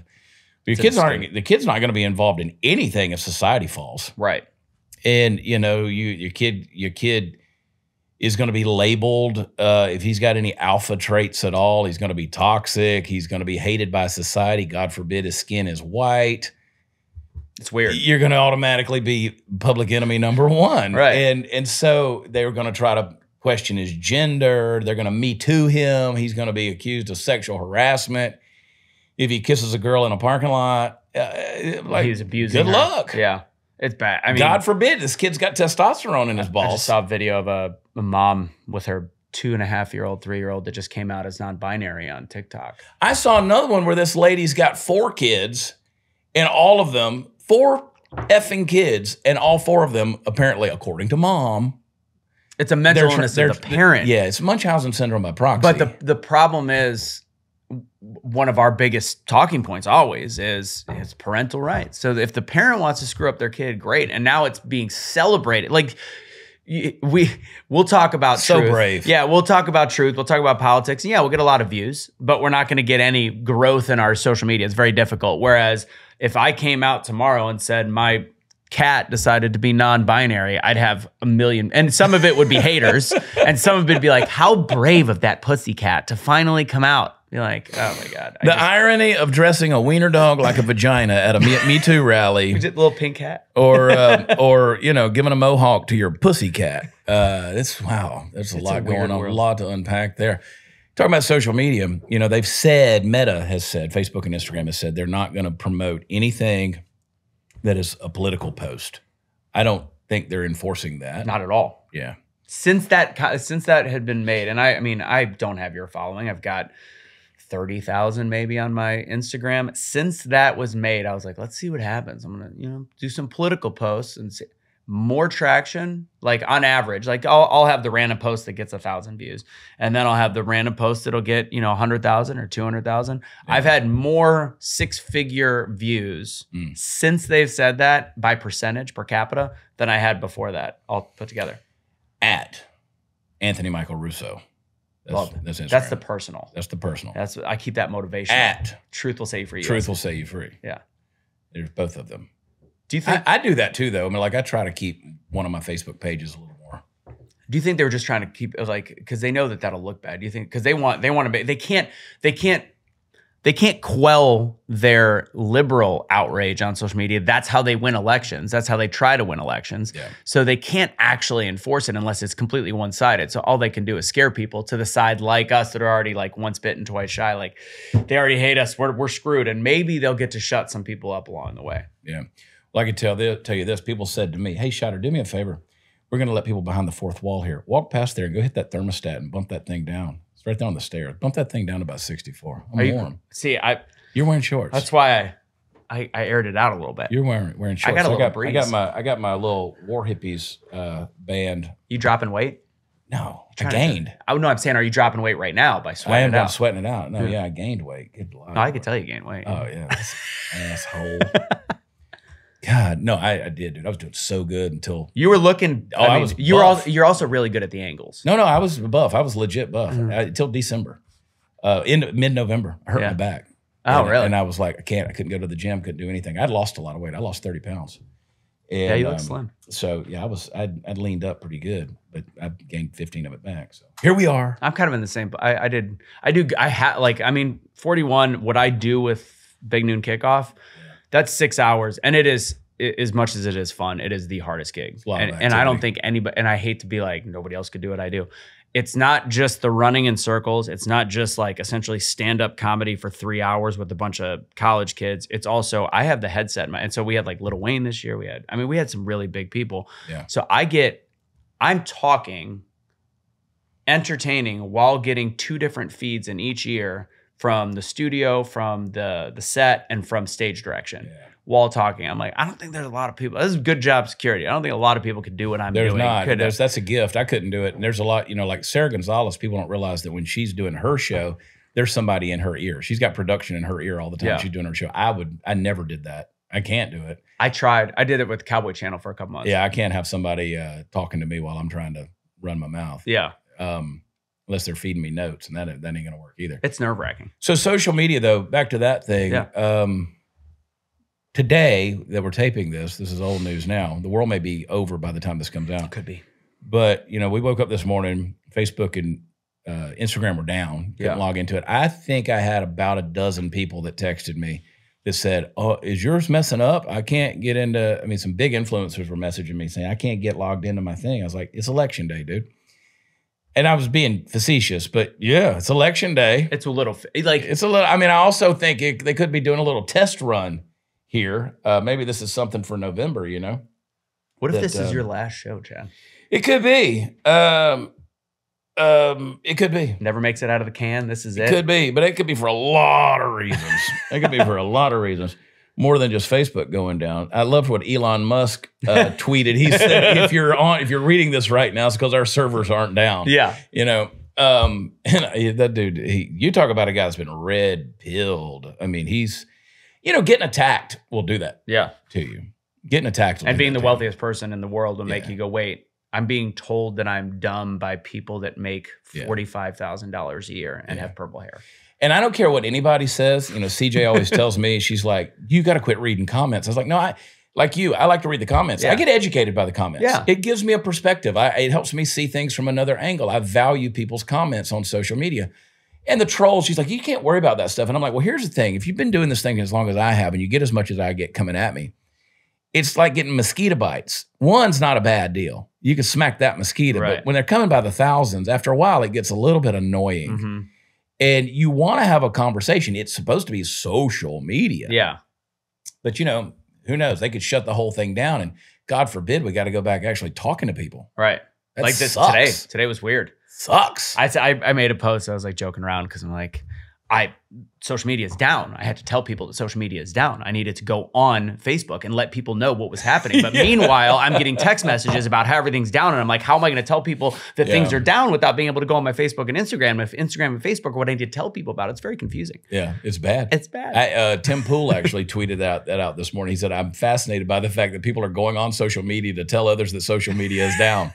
I'm paraphrasing, but that was funny. It was like pretty that. Um, yeah, I, I don't know. Like they have us by the balls. So AT&T, they said, well, they started the solar flare thing. We knew that was stupid because a solar flare ain't going to target one cell network. Uh, we began to realize there was a glitch in their system, and what did they give us a rebate of five bucks or something? that you had to like fill out paperwork. I don't think. Did filled you? it. I didn't fill it out. They I mean, processed. I'm broke. I'm not that broke. They processed my automatic payment. Did they really? This morning. This morning. Oh, no, no, no, no, no. your- your- My, that my bill. Yeah. They my AT and T bill. Solar flare didn't screw that up. It did wasn't in the it wasn't in the item. it wasn't in a line item. It was not itemized. Uh, it was the same amount that I normally pay. um, but now this is falling down. They really have us by the balls. I think it's one of those things where every now and then I can almost see Xi Jinping sitting there in China going, "I showed them today. I showed them today what they who did boss." yeah.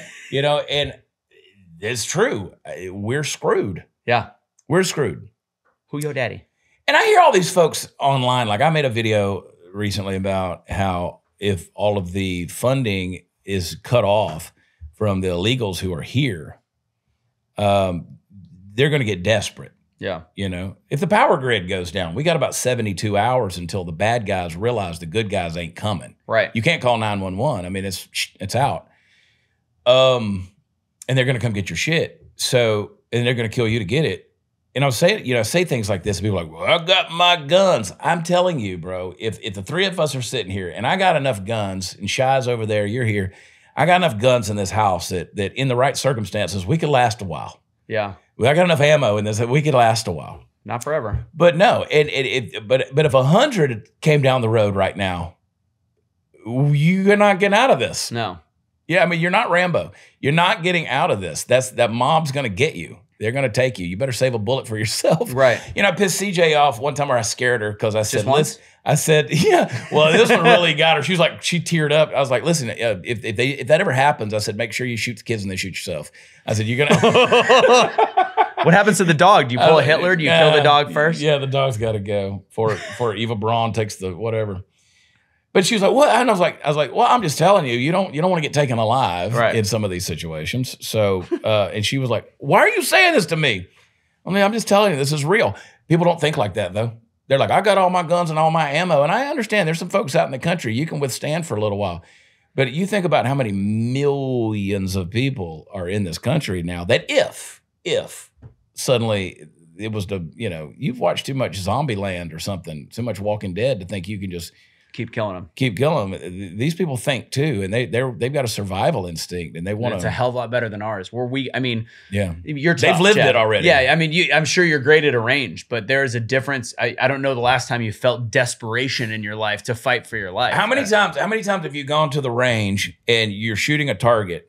You shoot the target, and then what do you do? You look to see if you got it. Yeah. Like, oh, where did I hit it? Yeah. You know, or you're still, do, do, do, do, do, do, and eventually you you do the thing in.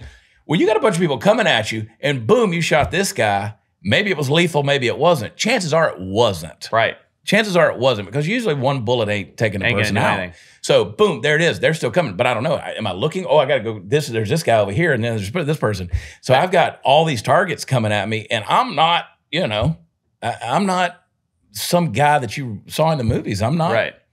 Uh, whatever his name, Jason Statham. You're not playing a video game either. And it's like I just I I I like I, I'm big, you know, obviously Second Amendment supporter and, and protecting ourselves. But if we're the way, if, and you you you mentioned how we're funding the illegals, which you know, screw the veterans. We don't really care about them. We're giving a crap Right. ton more money. So that's why I think, and crime is already bad enough with the illegal immigrants. Uh, but once that ten thousand runs out, like, are we going to keep funding it? Probably not. There's going to be. It's an election year. We're we're doing as much as we can. So once that money runs out, six dollars an hour is no longer going to be paying their family back in Honduras, Mexico, Saudi Arabia, wherever the hell they're coming from, and that's when the crime is going to raise. And the crime, and then the crime is say Trump wins, the crime is then going to raise during 2025, and it'll be Trump's problem right. and they'll blame it on Trump. And I always, even when Trump was doing good the first couple of years, I was like, this is still, you can't, you can't give all the celebration to a president in their first two years because a lot of it is, some of it's sentiment, some of it is speculation, but a lot of it is previous policy. I don't think Obama was horrible. Uh, he, de- first off, he deported more uh, illegal immigrants than any other president in history. So he did do some good He stuff. had more to deport though. He had way more to deport Yeah. from the previous, well, from Bush, which is interesting. That's a whole different spin That on uh, Bush was W was horrible on the border. horrible, He was all about it. horrible. And then we had NAFTA right before that, so the trade. I mean, we were we were set up for this fall for a long time, Mhm. and then now, and this is the big thing is like, I mean, we're, we're talking about Republican politics, but we're talking about conservative politics and this new wave of I call it MAGA because I think that that's the newest party. And I what did what does RFK call his ticket? He's calling it like the free freedom I don't even know. he's got he's got a new name for a political party. I'm like, I dig that. Um, the thing is, is the Republicans don't know how to get out of their own way.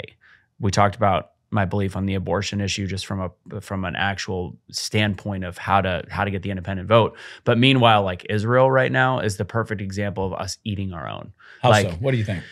So I wanted to get into that anyway. yeah, let's so it's about a it's the the Israel topic, and I'm half Jewish, so I am more pro-Israel. Granted, like I know that Kanye was speaking some truth up until he started being like Hitler wasn't that bad. Uh, Up until that statement, Hanging I was like, with Fuentes Right. shit like that. That- yeah. Nick Fuentes is a piece of shit. He's a garbage like, dude. and and he see to me like people use the controlled op thing. I hate that terminology. He's somebody that is perfect for the left. Yeah. He paints the exact picture we want. Um, Kanye is just nuts in a lot of different ways, Mhm. but the whole when I when he was talking, I'm like, I was raised half Jewish. My Jewish family talked about how Jews run Hollywood. Like that's not that's not not accurate. Like I was in Hollywood. Trust it's- me. it's it's not wrong. And even Yeah. my mom, who's the one that used to say that to me, who's also converted to Christianity, was like, Anthony, that's so. How can you say these things? I'm like, Yeah. because this is the truth. like I don't, I don't know how to a better way to say Yeah. it. But then you start getting to to to Israel and Hamas and the war, and look, it's it's bad. Like what's going on over there is bad. There's still hostages being held. Yeah, I Um, think at the last count there was like 130 something, and th- there's a large portion that's suspected dead. So Right. And they're probably and they're like, we don't have the name. But uh, all of that is the thing is it's a holy war that's been going on for millennia. It's a problem. It's the way that we've all of a sudden shifted it to to the term genocide. We talked a little bit about that before we we started doing the show. But the big thing that I that is danger to me is the fact that we we decide to create a chasm in Republican voters. And you've got some people that are ultra pro Israel, which is fine to me. It's a little bit better than being ultra pro Palestine and being a Republican, which is just weird to me. Um, and they're talking about like how how could you be such a Zionist cuck to think that you can? I'm like, calm down. First off, um, like you Zionist cuck, you're supporting you're supporting genocide. I've never, never in the history of of the Jews during the Holocaust, which was an actual genocide, did any Jewish person kidnap a whole bunch of white German nationalists, whatever, and start the war. They did some shady banking stuff. I know the history. I know it's not perfect, but the fact that we've completely decided to use words like debunking, genocide. We use these Right. as marketing terminologies, and I don't know who's using them. Is it the deep state? Is it the whoever runs all the shit? I think don't there's know. a division of vocabulary. The- but now there's a but- language division but now the government runs. Yeah, and now it's baiting the Republicans to hate each other and be like, "How dare you? How dare you? How dare you?" It's like, oh.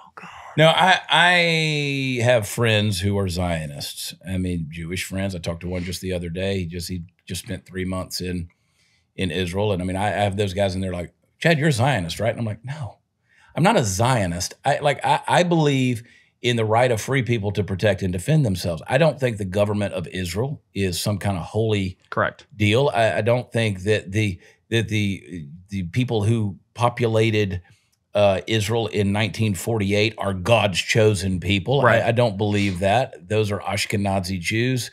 They're European Jews that came in, and that's a whole other debate that we can have.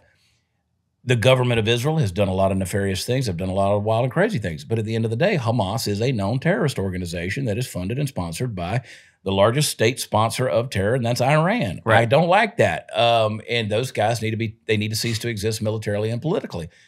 Uh, if Israel and you say, well, so America created it. I, I- yeah, yeah, yeah, yeah. Well, We I, I'm not America. I like I'm an American, but I'm not the federal government. I'm Yeah. not the CIA, CIA. I'm telling you as a citizen. I'm fair-minded. I, I those that shouldn't exist. Yeah. Well, you know, America created the Taliban and ISIS. Like, okay, they should We cease did. to exist too. I, I, I mean, listen, the CIA should cease to exist. So, so should the FBI and the DOJ. All the alphabet agencies. I mean, if we're going to be fair, I'm not for those guys either. Right. So, you know, the people that want to hide behind civilians, women, children, all the, again, those are buzzwords too. Oh, they're killing women and children. No, they, you know, They're killing everybody. I mean, everybody. they- they're just winning by a lot. It's like a it's like a NFL team playing against uh, um, unfortunately a middle school team. It's Yeah. that's not genocide. That's an ass beating. And it's and it's and also like you said, I don't as somebody that is more pro Israel, I'm not thinking the Israeli government is anywhere near on the up and up. Like Right. I'm pretty sure the the most sophisticated uh, just like the American world- government. just like the up and up. American Yeah. government, but one of the most sophisticated governments in the world. You're going to tell me they didn't know what was about. Some somebody knew. Somebody knew The way about that popped off, yes, Yeah. somebody knew. and they it was a bait it was a bait and switch but unfortunately they're giving the they're giving the global option to say you go ahead and it, you go ahead and give us the the hostages back and it's a ceasefire Yeah. and nobody's allowing that part to happen and it's like look if they give back what whoever is still alive of the 130 people and and the the Jew and, and and the Israeli government continues to bomb the living shit out of a, a lot of areas that yes have Hamas but also have a lot of uh, citizens, civilians Yep. then we could have a discussion but as of right now n- no demands have been met to give those hostages Well, they back. just had a they just had a talk. I think it was in Paris. There was Yeah. two places. One was in Paris, and Israel said, "We will give you a six week truce. You got to release. I think it was thirty five or forty hostages. not even all of them You got to release like thirty five. We'll release two hundred suspected terrorists Which that we hold. stupid. Stupid. Uh, And then they said, they said, but you've got to see, Hamas has got to cease to exist polit- politically and militarily. Uh, and they said, no, we're not going to do that. Now, at the same time, the leaders of Hamas are all billionaires. They're living in Doha in Qatar. And Lindsey Graham, when he should be going home to South Carolina to meet with his constituents, is getting on a jet and flying to meet with people in Doha. We got um, uh, Texas A&M is running, you know, its institution over there, and all of our intellectual property that they come up with, the research and stuff at Texas A&M, They're in Doha. Uh, Qatar gets to keep it. It 100% belongs to them. And you want to ask me whose side am I on? Mine, bitch. Yeah. Like I'm on nobody's side at this point. Yeah. None of them. I don't trust any of them at this point. Israel's going to give back 200 known terrorists. Hamas won't release 30 people. They won't take a six month truce. The only people crying for a ceasefire, uh, they only want it one sided. They want Israel to stop so shooting. They don't want Gaza. They don't want the Palestinians or the, I should say, Hamas Right. shooting back. Uh, They don't care if they shoot back. Yeah. They don't give a shit if, if, if you know, missiles are hitting the Iron Dome and dropping into the streets. And people don't know about that. Like that's a da- that's been a daily occurrence in Israel. Yeah. I'm supposed to be there time. right now. Yeah. I'm supposed to be there right now. Yeah, I mean, and and it's a bad time right now, but it's all like there's missiles. All I've heard, it's a weekly occurrence that the Iron Dome has to be activated and and, and shoot Yeah. down these missiles. Yeah. So people are like, well, whose side are you on? Uh, It's just like it's just like Putin or Zelensky. None of them. Neither. They're both garbage. As as a half Jew, I really I'm I'm I'm on the side of letting them deal their own holy bullshit out. Like like that's I mean this is it's never going to unfortunately like we're never going to have world peace. That's just not a it's not a rational thought. Like I don't know when God I don't know when Jesus is going to come back. I've got no idea. Not as long as there's money in war. Uh, not as long as there's warmongers and ra- saber rattlers out there who are going to benefit and get both power and money out of the conflicts that are happening. Um, and you know, look look what Joe Biden did. I mean, Trump didn't put us in any war. And then as soon as Biden gets in there, he does that botched bullshit evacuation from Afghanistan, demonstrates on the global stage how weak we are.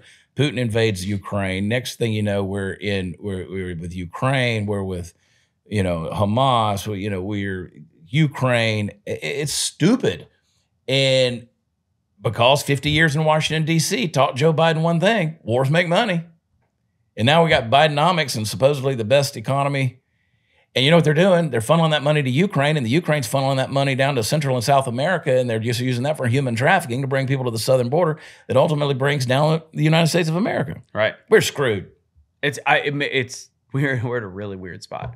Now you, you brought up you brought up warmongers like Lindsey Lindsey Graham. Lindsey I think Graham. but now, do you think that he was traveling to the Middle East for the nefarious purposes, or do you think he's got a male side piece? I think there? it's a little bit of both. a little bit of both. I He's over there he's got, one of those dancing boys. Yeah, I think so You know? too. Let's. I mean, let's let's call it spade a spade again. That was the thing when they when Ralph took Jimmy fishing and that little Yeah. public service announcement. Somebody in the comments said, "And Jimmy grew up to be Lindsey, a, a, a congressman from South Carolina." That's great. So that that so I more of this? You got to work Yeah, tonight. You got to shovel shit. We're you got to shovel shit. All right. um. Speaking of of Lindsey Graham, This is podcasting, people. This is way this is way more fun. I mean, I liked your other Heck show because yeah. it had the big studio and stuff. ah, it, yeah, it was great, but it was it was so it was so constricted with Yeah. the commercials and all this stuff. So. See, uh, you cut down all the costs. All you need is one Asian guy to run. I got. I got a little Singaporean dude who got trafficked here. We're never letting him go. Blink twice if you need help. And the beautiful thing I about can't tell if you're blinking. I'm sorry. I You know, to do that. Shy, Shy is. I met. I met yesterday. I met the guy who recommended Shy to the company, and because you know, I was like, okay, wait, I'm going to need a producer that's on site, and they're like, we'll find you somebody, and I'm like, uh, uh, I hope it's somebody that understands my way of just sense of humor and way of thinking, and Yeah. just off the cuff kind of way, and and uh, I'm like, because that could go wrong real fast, Yeah. real fast. And uh, thank God for Scheider. So he's, I met those people. I was like, y'all did good. So I keep joking with him. I'm like, dude, if you think if you're thinking about leaving, you're not. you're not. You will be in a you will be in a closet upstairs. Locked. I'll let you out on Tuesdays, Mondays, and Tuesdays. It's time to push buttons, fella. You will call the guest by their right name. Before we got on, we just we just taped with Larry Taunton, and so he was convinced that and he was calling uh, Anthony Larry. so honest mistake, honest mistake. I usually get Andrew, which is really awkward because Kelly's ex boyfriend name is Andrew, Oh, and because bueno. people have called me Andrew my whole life, Andy and Andrew. I don't know, Yeah. but No bueno. whatever. Yeah, Y'all, uh, y'all getting along pretty good? You still like each other yeah, for the most part, for the most part. it's hard. There's Like, got to be a catharsis. I mean, CJ and I have that. I got to tell you something. So I, I came to this epiphany. And I got to be careful how I say it because Kelly's like, I'm just gonna. Is she gonna watch this? I'm sure she'll. Love you, this. Kelly. I didn't say this. it. but like, I've come to the conclusion: no matter how a woman votes, Mhm. they're all Democrats, Mhm. and I'm gonna explain why. Okay. So you know what the Democrats do? They they they say, you know, to you, you're a fascist whilst being fascist. Right.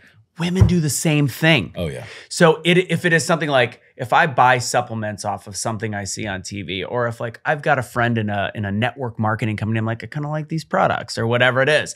You are so gullible. You are so easily baited. All these different things, and then meanwhile, their closet is stocked full Oh, of yeah. shit they bought the last four years. Oh, yeah. Or like I don't know about you. I'm regular. I I, I every morning I go twice. I go twice in the morning, and sometimes if I gotta I gotta go. I'm I'm healthy, and she legit calls me out all the time. She's like, "You got IBS." I go, "Just because I go the right amount of times in a day, and I'm not constantly constipated like somebody." you're you're literally have IBS, but constantly you're telling me that I have IBS because you know you don't like the fact that I have to waste 30 minutes. in the God, morning that's to funny, dude. Relationships are funny. Like uh, CJ and I, uh, we all went out on her birthday. Um, took the whole family out. Went had a great dinner, big party. 32, she turned. No, I wish she wishes. Uh, we both wish. I'm not gonna say how she I was was. trying to She's not 40. I'll say that she's not 40, even though I keep telling her she is. Um, and uh, something came up. She said something, and I kind of asked a question because it was something I didn't know. And you're with all this family, and you're trying to keep it quiet. It's like, why didn't you tell me like that? And and so after a while, she was like, I was like, I was like, God, that pisses me off. You didn't tell me, you know. And I'm not going to go into what it was. She's like, I don't understand why you're mad at me. I'm like, I'm not mad at you. You're getting mad at me. I just didn't know what. I was like, I didn't know why you didn't tell me that. That little detail about our life. And she's like, why are you mad at me? And so I was like, okay, so there's tension.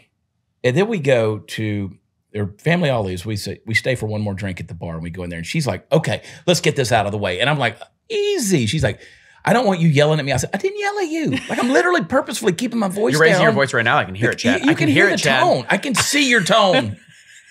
and so, uh, and so she would wait. She was like, she was like, I just feel like you're just you're being unfair and you're saying these things. And she would always wait to raise her voice. She'd wait for the bartender or the barback to come down to our end of the bar, and that's when she'd be like, "And I just don't like it when you treat me that way." And I was like, "What the?" Like, I promise I don't hit her. like, and it's like, dude, I was like, "Why are you doing this? You're a woman." At least you have time to go out. Freaking woman. She doesn't have horses, which therefore puts her in a whole. Oh, dude, bucket. never have a hobby that eats, which I know that's Kelly's world. I mean, that's her life um, in business to, to to compete. But I've always said never have a hobby that eats. Yeah. dogs are enough. Yeah, that's why I don't have an OnlyFans. Yeah, Anyways, Yeah. uh, but no, honestly, rodeo's a weird one, and I know you. Do you still have the bull and PBR? yeah. That's, I mean, PBR is at least a money making endeavor. I have, I so I've started working a lot more in rodeo and Mhm. Western sports. My kind of people, our kind of people, and I, I've liked that. But like, there's shady people everywhere. Uh, Cowboy Channel, the owner is an interesting hmm human being. Uh, but the across the board, what I've realized and why I want to get more involved is I see somebody like Kelly, who was ranked 18th in the world last year, um, amidst another group of you know a bunch of people that are just outside of the NFR National Finals Rodeo. That's the top 15 in the world, and they make maybe that's where they make profit on the year. Right. It's an amazingly money losing situation. Oh, I can remember guys that were going to NFR, and I would my friends, you know, whether it was Trevor Brazile or, or Tuf Cooper, whoever it was, and they were like, "We spent half a million dollars this year just going up and down the road, just Brutal. minimum." And they're, I mean, they're not made. It's it's just and it's sad because now, Now, guys at that level have sponsors, which helps them to break even. To break even, yeah. barely and it's like it, to me as a sport and yeah we we unfortunately are like oh they're kid they're roping a calf oh that's really sad Mhm. so there's that group of people out there that think it's animal cruelty meanwhile they're getting processed mcdonald's it's you know right. what they do to those animals is actually sad um so i- i- across the board though people start to ask for autographs for these people. These are these are becoming celebrities and and if they marketed it a little bit better i do think the prca needs a little bit of help with that uh, the pro rodeo association and i think that with cowboy channel they've and yellowstone it's this perfect opportunity right now so i'm like Yeah. i feel like i'm in it at the right time i work with a company called next gen and we're like entry software but we're growing the media aspect side of it Right. uh, which is really funny because have you ever heard of steve kenyon Oh yeah. so Steve and I are the two like Cowboy Channel rejects. We're the ones that were just kind of let go unceremoniously, hmm and we're working together to create content for next gen. But it's like there's such an opportunity in this sport, and people love it. Like I went to the Houston Rodeo last night. Like you've got people in there that are so jacked up, not just for the concert, because Hank Williams was fun to watch. He's also Biden age practically. Yeah, he's People he's are there now for the rodeo. It- elderly. He's elderly. It used to be for the concert. Now it's like people are really getting into this stuff. Time to capitalize on it. There's no excuse for a top 20 in the world barrel racer to not be able to pay our bills. It's terrible. Yeah. And and and I thank God that I've had a finally after being canceled, like you kind of brought up, for years, I finally have started to get paid and, and to for the MC work that I'm doing. I've got to work cool events, and thankfully, thank God that that's allowed us to, you know, even kill it. And you helped me out last year. We talked to a lawyer about what was going on. Oh yeah, I forgot about Because that. there's, Yeah. shit, I mean, I love the Western way of life, but there's some shady assholes Yeah, in this bad. business as well. You get animals involved, dude. People always, yeah, I won't get into that story. Sorry. But yeah, you start getting into animals and then the animal owners and then the doctors. It, it's a mess. Yeah. It's a mess. All right. The Art of Doubling Down. I like that title. I really like the blurb on the back by me. You know, Every failure can pave the way to success in business and life, leading to ultimate happiness. Can they get this in all the book places? uh, yeah, it actually releases April 2nd. All right. So if you're really slow on the release, it'll be right around the right time. Yeah, But- it'll be closer. Yeah. We'll give- oh, this this show will come out next week, probably. Yeah. But no, Um, it's uh, my all right. first book. Pretty excited. It only took three years to write 170 pages. I know I like this. I'm working on a book that it may be a, about this size, um, and uh, it's going to trigger some people. That's for sure. What is it going to be about? Well, we're we're talking about people who just can't. Um, men, particularly, that you know, people don't live up to their potential anymore because the potential's been taken away from them, and they've been told that all that's evil. Yeah. You know, they can't be that person that God created them to be because uh, you know the the society, everything is against them, and uh, you know how to take that back. So you know, it's another way of telling the same old story that a lot of people are telling. You're telling it in this way as well. Uh, so Sounds like toxic masculinity, if you ask me. yeah, it's very toxic. Uh, men, men, you know, are created to be something way more than what we are these days. You know, we're shoving testosterone in our ass, trying to get caught up, and then we're taking estrogen blockers so we don't get tits. And uh, you know, I yeah, haven't done push-ups in a I'm, little te- bit. I'm telling you, dude, and it's it's bad. Have you ever taken that stuff TRT? I think so. Yeah. Yeah, So I so when I interestingly enough, what kind allegedly. of allegedly what kind of deodorant do you use? I know it's a weird question. I don't know. Like, do you just use like Degree or like no, yeah, something like that, or Old Spice or something. So You gonna I tell me it's got bad shit in it? well, I mean, we know it's got bad shit in it, Or but get rid of your stink, or make more? I, I know I was as a guy that sweats a lot. I never had like a like a sweat. I never had the sweaty armpit issue. Yeah. That wasn't my thing. Um, but what I know, so I got my testosterone level tested right when I started dating Kelly, and I always had a really high level of energy, but it was like I didn't care about the stuff that I cared about when I was in my early thirties. Right. Wink, wink. But like I just didn't care. I was I was I was more worried about work. I, I was able to work 15 hours a day. I'm like my testosterone's got to be fine. I went. I got checked. I had the healthy testosterone of a 65 year old. it was 312. I, I, I know that feeling. Yeah, and so I'm like, and I'm and Kelly's like, you got to take test. I'm like, I so I've I've been a granola since before granola was awake and cool. Like Right. I was raised, you know, a non-vaccine kind of person and all that stuff. Um, so I made a couple switches. One, I drank more water, and two, I switched my deodorant. I didn't think that was going to change my testosterone. I just did it because I did a Tony Robbins conference, and they're like, get rid of the crappy. So I switched to Really? Squatch. Um, All right. And honestly, it's for me it was miserable because I get I tried in the past and I get rashes. So for like two months I got rashes, and then finally it stopped. Why was it just not letting you sweat, or So no, it's it's apparently the really like good for you stuff. It's just your body is so used to the aluminum and the chemicals that are in the other deodorant. So I made the switch. So anyways, I retested my testosterone this last year.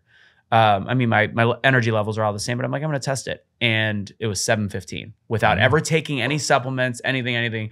So I'm like, water. My diet's a little was a little better last year, but ultimately, if I were gonna think of the biggest life change that I've made was switching deodorant. deodorant? Weird. Yeah, I don't know, man. There's a rash involved. That reminds me of my sex life.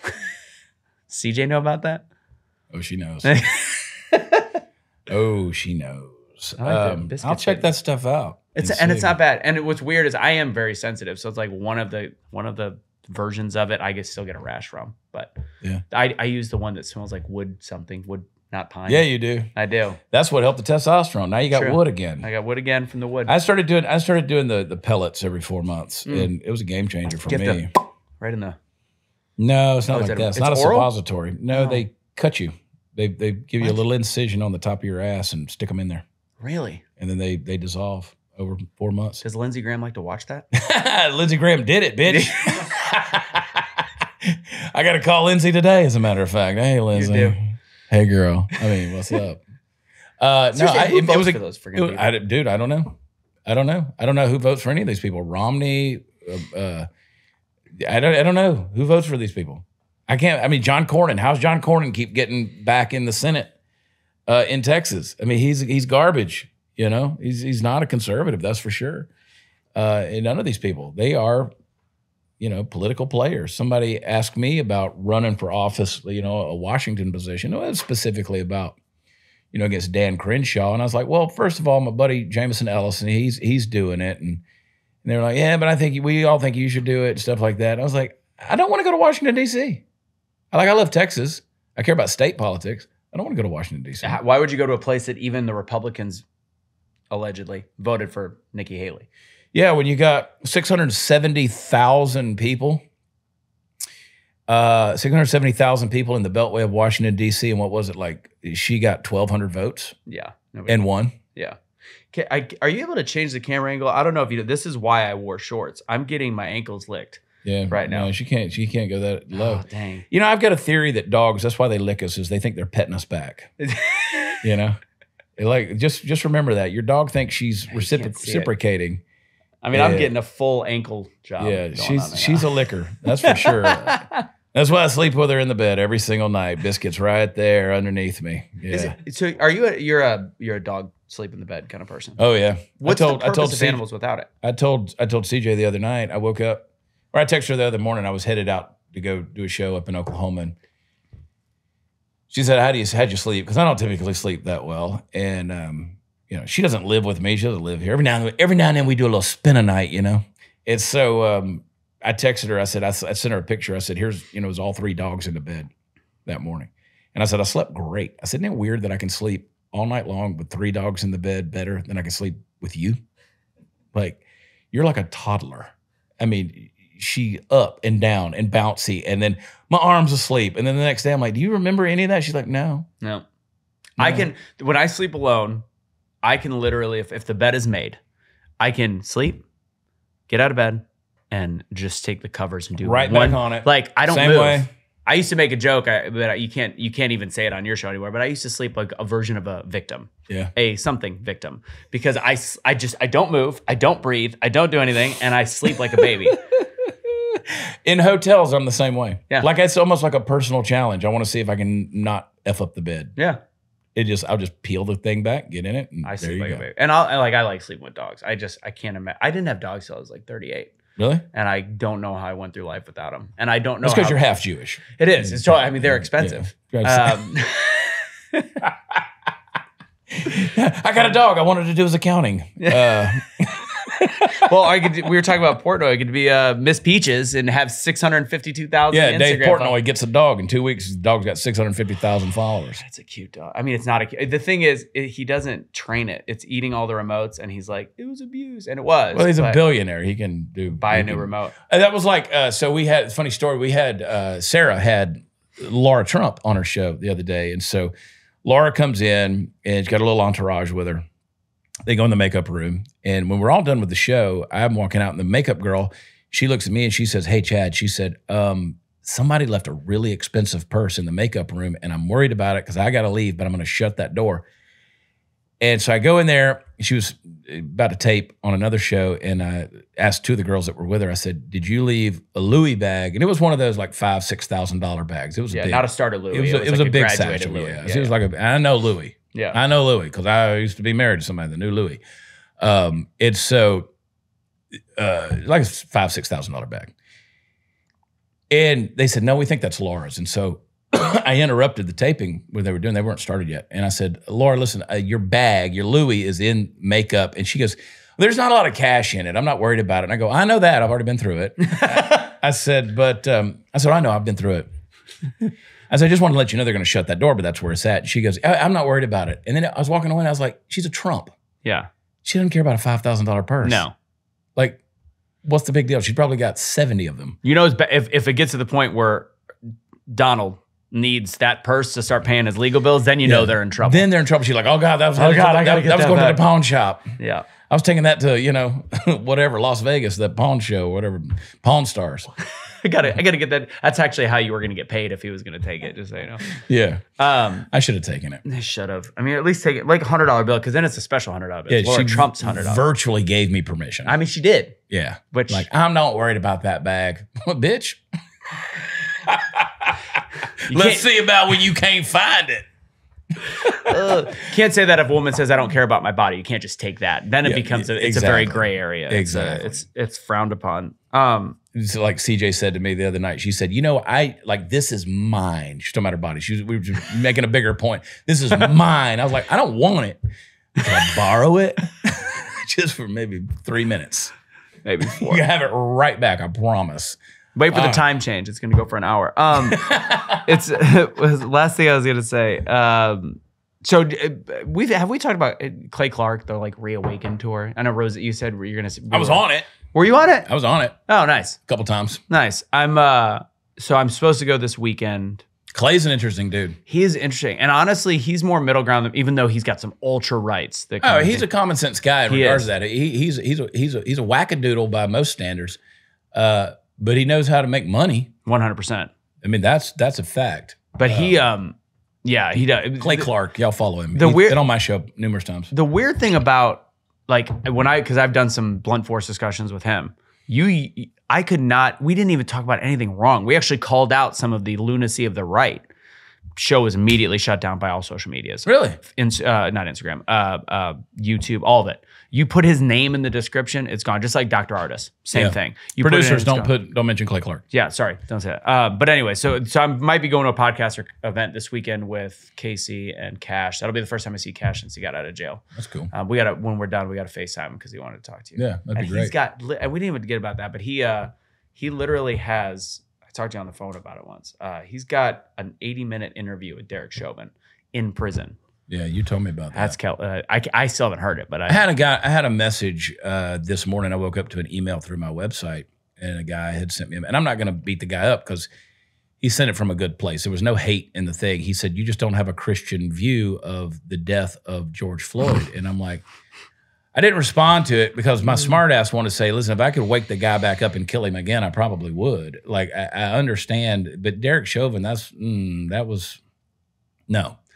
I- Th- that I mean that the yeah. he wasn't. I mean, I don't think so. This is what Cash says, and I'll and I'll say this briefly. Um, they Can I actually say that if I could wake the guy up and kill him again? I didn't mean that as a joke. This is a comedy podcast. Yeah, you can. uh, He would wake him up and and uh, the the slap contest. uh, you know those yeah, I things mean, that you yeah. know. Yeah. I'd be like, "Hey, buddy, where you been?" Hey, um, you want to smoke a J?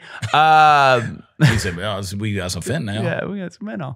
Um, no, he- so Cash talked to to Derek. So the reason why Cash became a big deal is because of the Black Lives Matter thing. That he wasn't even conservative until that point, and then he had four hundred thousand followers by the time he went to jail from J six. But it's ironic and full circle that after all the different prisons and jails that he went to, he ended up in the same place as Derek Chauvin. And he says this, wild. yeah, it's really kind of weird. And nobody would talk to Derek in that because at that point it was federal prison, it wasn't a J six prison.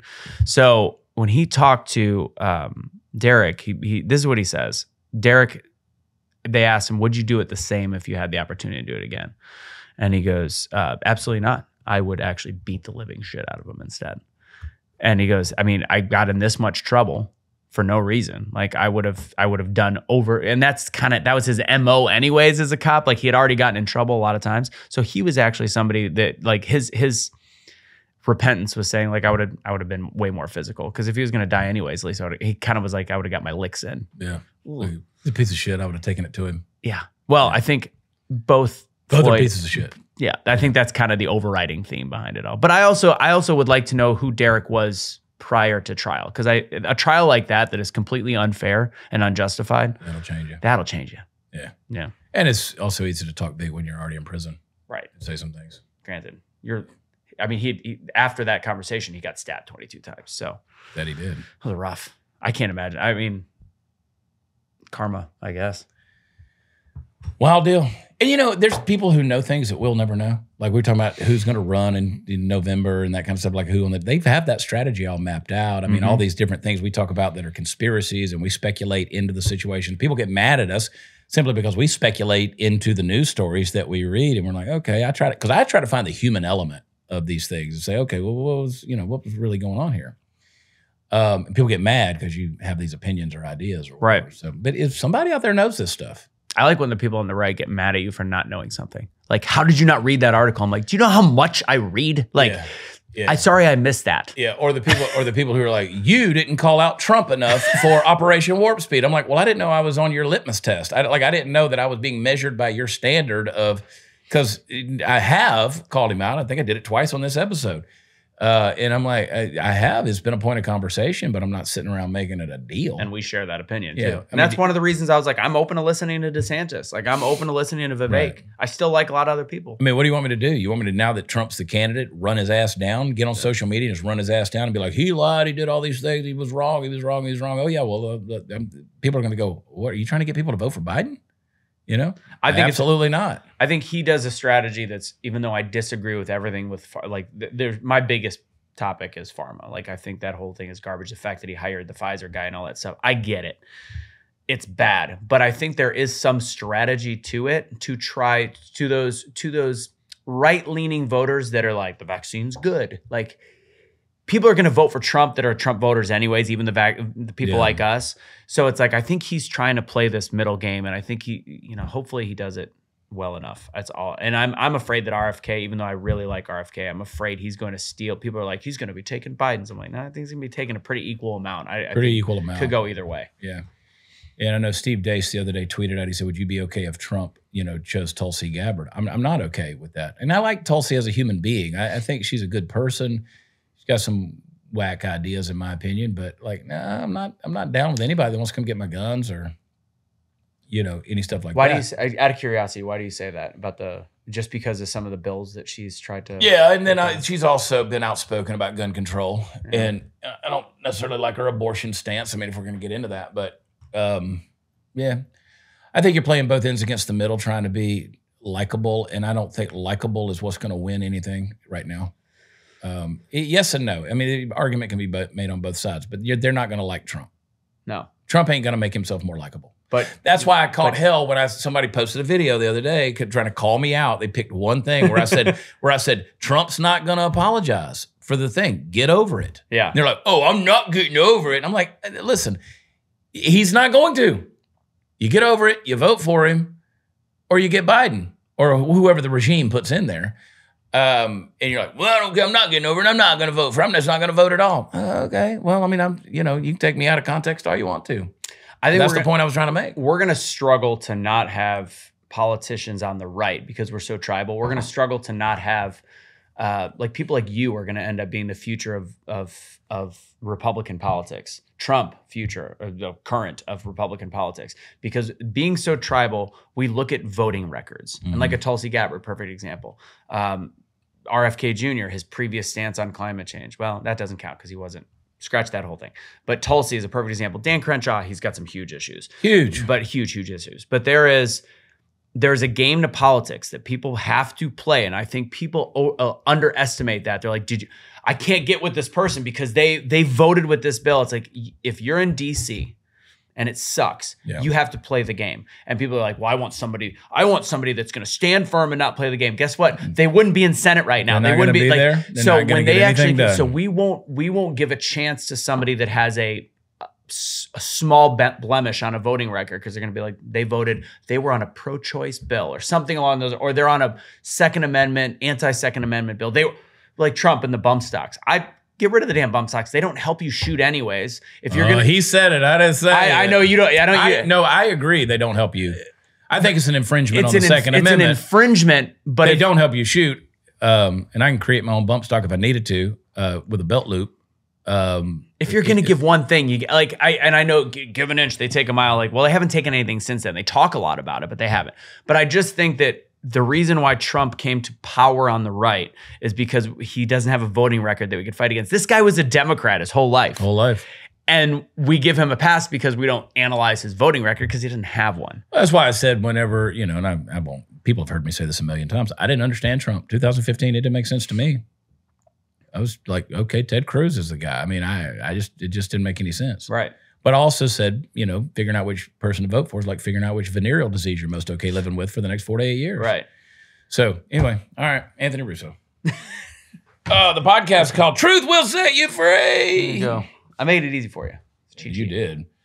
Uh, get the book too. Uh, the art of doubling down. There it is. Bam. Pal, you didn't put your picture on the back, dude. It's, it's in there someplace. It's me and a, I think. Am I wearing a cowboy hat in it? You probably are, because you know why? I'm country. it now. makes you a pimp. You didn't wear one. No, I didn't. It's in the barn though. It is in a barn. It's in the barn. You're right there. Uh, I like it. I like how you mentioned Kelly right first in the acknowledgments. I don't want to get beaten. bro. And she could take your ass. Oh, I had seen tough. that girl in action. She is tough. She's she she's a trip, bro. We got to get together soon. Um, get her and CJ together. My God, the room will explode. Is, is CJ a um, is she a introvert or an extrovert? Oh God, she's she is the word introvert. She knows nothing of. Oh, see, Kelly's a big introvert, but then she opens up. She opens up. She We also up- add a little alcohol. another C- CJ, uh, people have heard me say it. she God, makes coffee nervous. Uh, CJ is hyper. She texted me yesterday and she said, "Let's go to Virginia for my cousin's wedding." And I was like, "When?" And she's like, "Blah, blah, blah." "And I was like." Well, I've got something the day after that. She goes, "Oh, we could go there." And I was like, "She goes, oh no, I can't. My kid's got something." She goes, "But let's go two days early and we'll go on a date and then go to the rehearsal dinner." And I was like, "No, like I don't need to go to North Carolina, Virginia, or wherever it was to go on a date just to go to the rehearsal dinner. I'm not doing it." She's like that though. Kelly's autistic. But I got her off of that thing, and I said, uh, fact. They they all are. No, she, we took a test, and honestly, as much as I was like, "Babe, you're," She's straight up spectrum, huh? she, we we she did the 93 question test, and I can see it because she's like, when we talk on the phone, if I'm on speakerphone and there's any extra noises, like little stuff, and I again, my dad was legally blind and handicapped, so I can I can make these comments, but no, she she might half Jew. I'm half Jewish. So many things. Uh, she might actually be like. There's certain things that like I saw her take the test and she took it honestly, and it rated her on the like one end of like a little light on the spectrum, which would I try to give a pass to some of our fighting because I'm like she's special. She's got issues. All right, She, and she claims it. Not it's not me. she owns it. But anyway, Sorry, that's a whole different. she's cute. She can get away with it. Last all right? minute She can curveball. cute. She can get away with it. All right, watchchad.com where all the fun stuff is. Check me out on the road. Going to be all over the place. Watchchad.com. Um, what else? That's all. That's all I really want to tell you. Leave me a rating and review. I appreciate that. It helps us in the rankings. Thanks to Anthony. It's good to see you, buddy. I'm glad you were in Houston. We are able to come up and, and hang out for a little while. Look at us working on two hours. we did good. Yeah, my uh, the, the powers that be with the behind this podcast are like, you got to have longer conversations. The algorithms they they like that. So I'm good for that. and I'm like, well, I know somebody I can do that with. And you were in town. And Lindsey Graham is the only other guy that can go that long with another guy, an hour and 15 minutes. Eddie though. That's called Oh, a God. callback. That's a callback. Gotta, uh, maybe we can find ourselves a Senate staffer. Uh, take them to a hearing room. All right, guys. I love you. God bless you. Where am I looking? Look at my little flag that nobody ever sees. It says the Chad Prather Show on there. That's where it's at. All right, guys. We will talk to you next time. Love you. God bless you. Bye.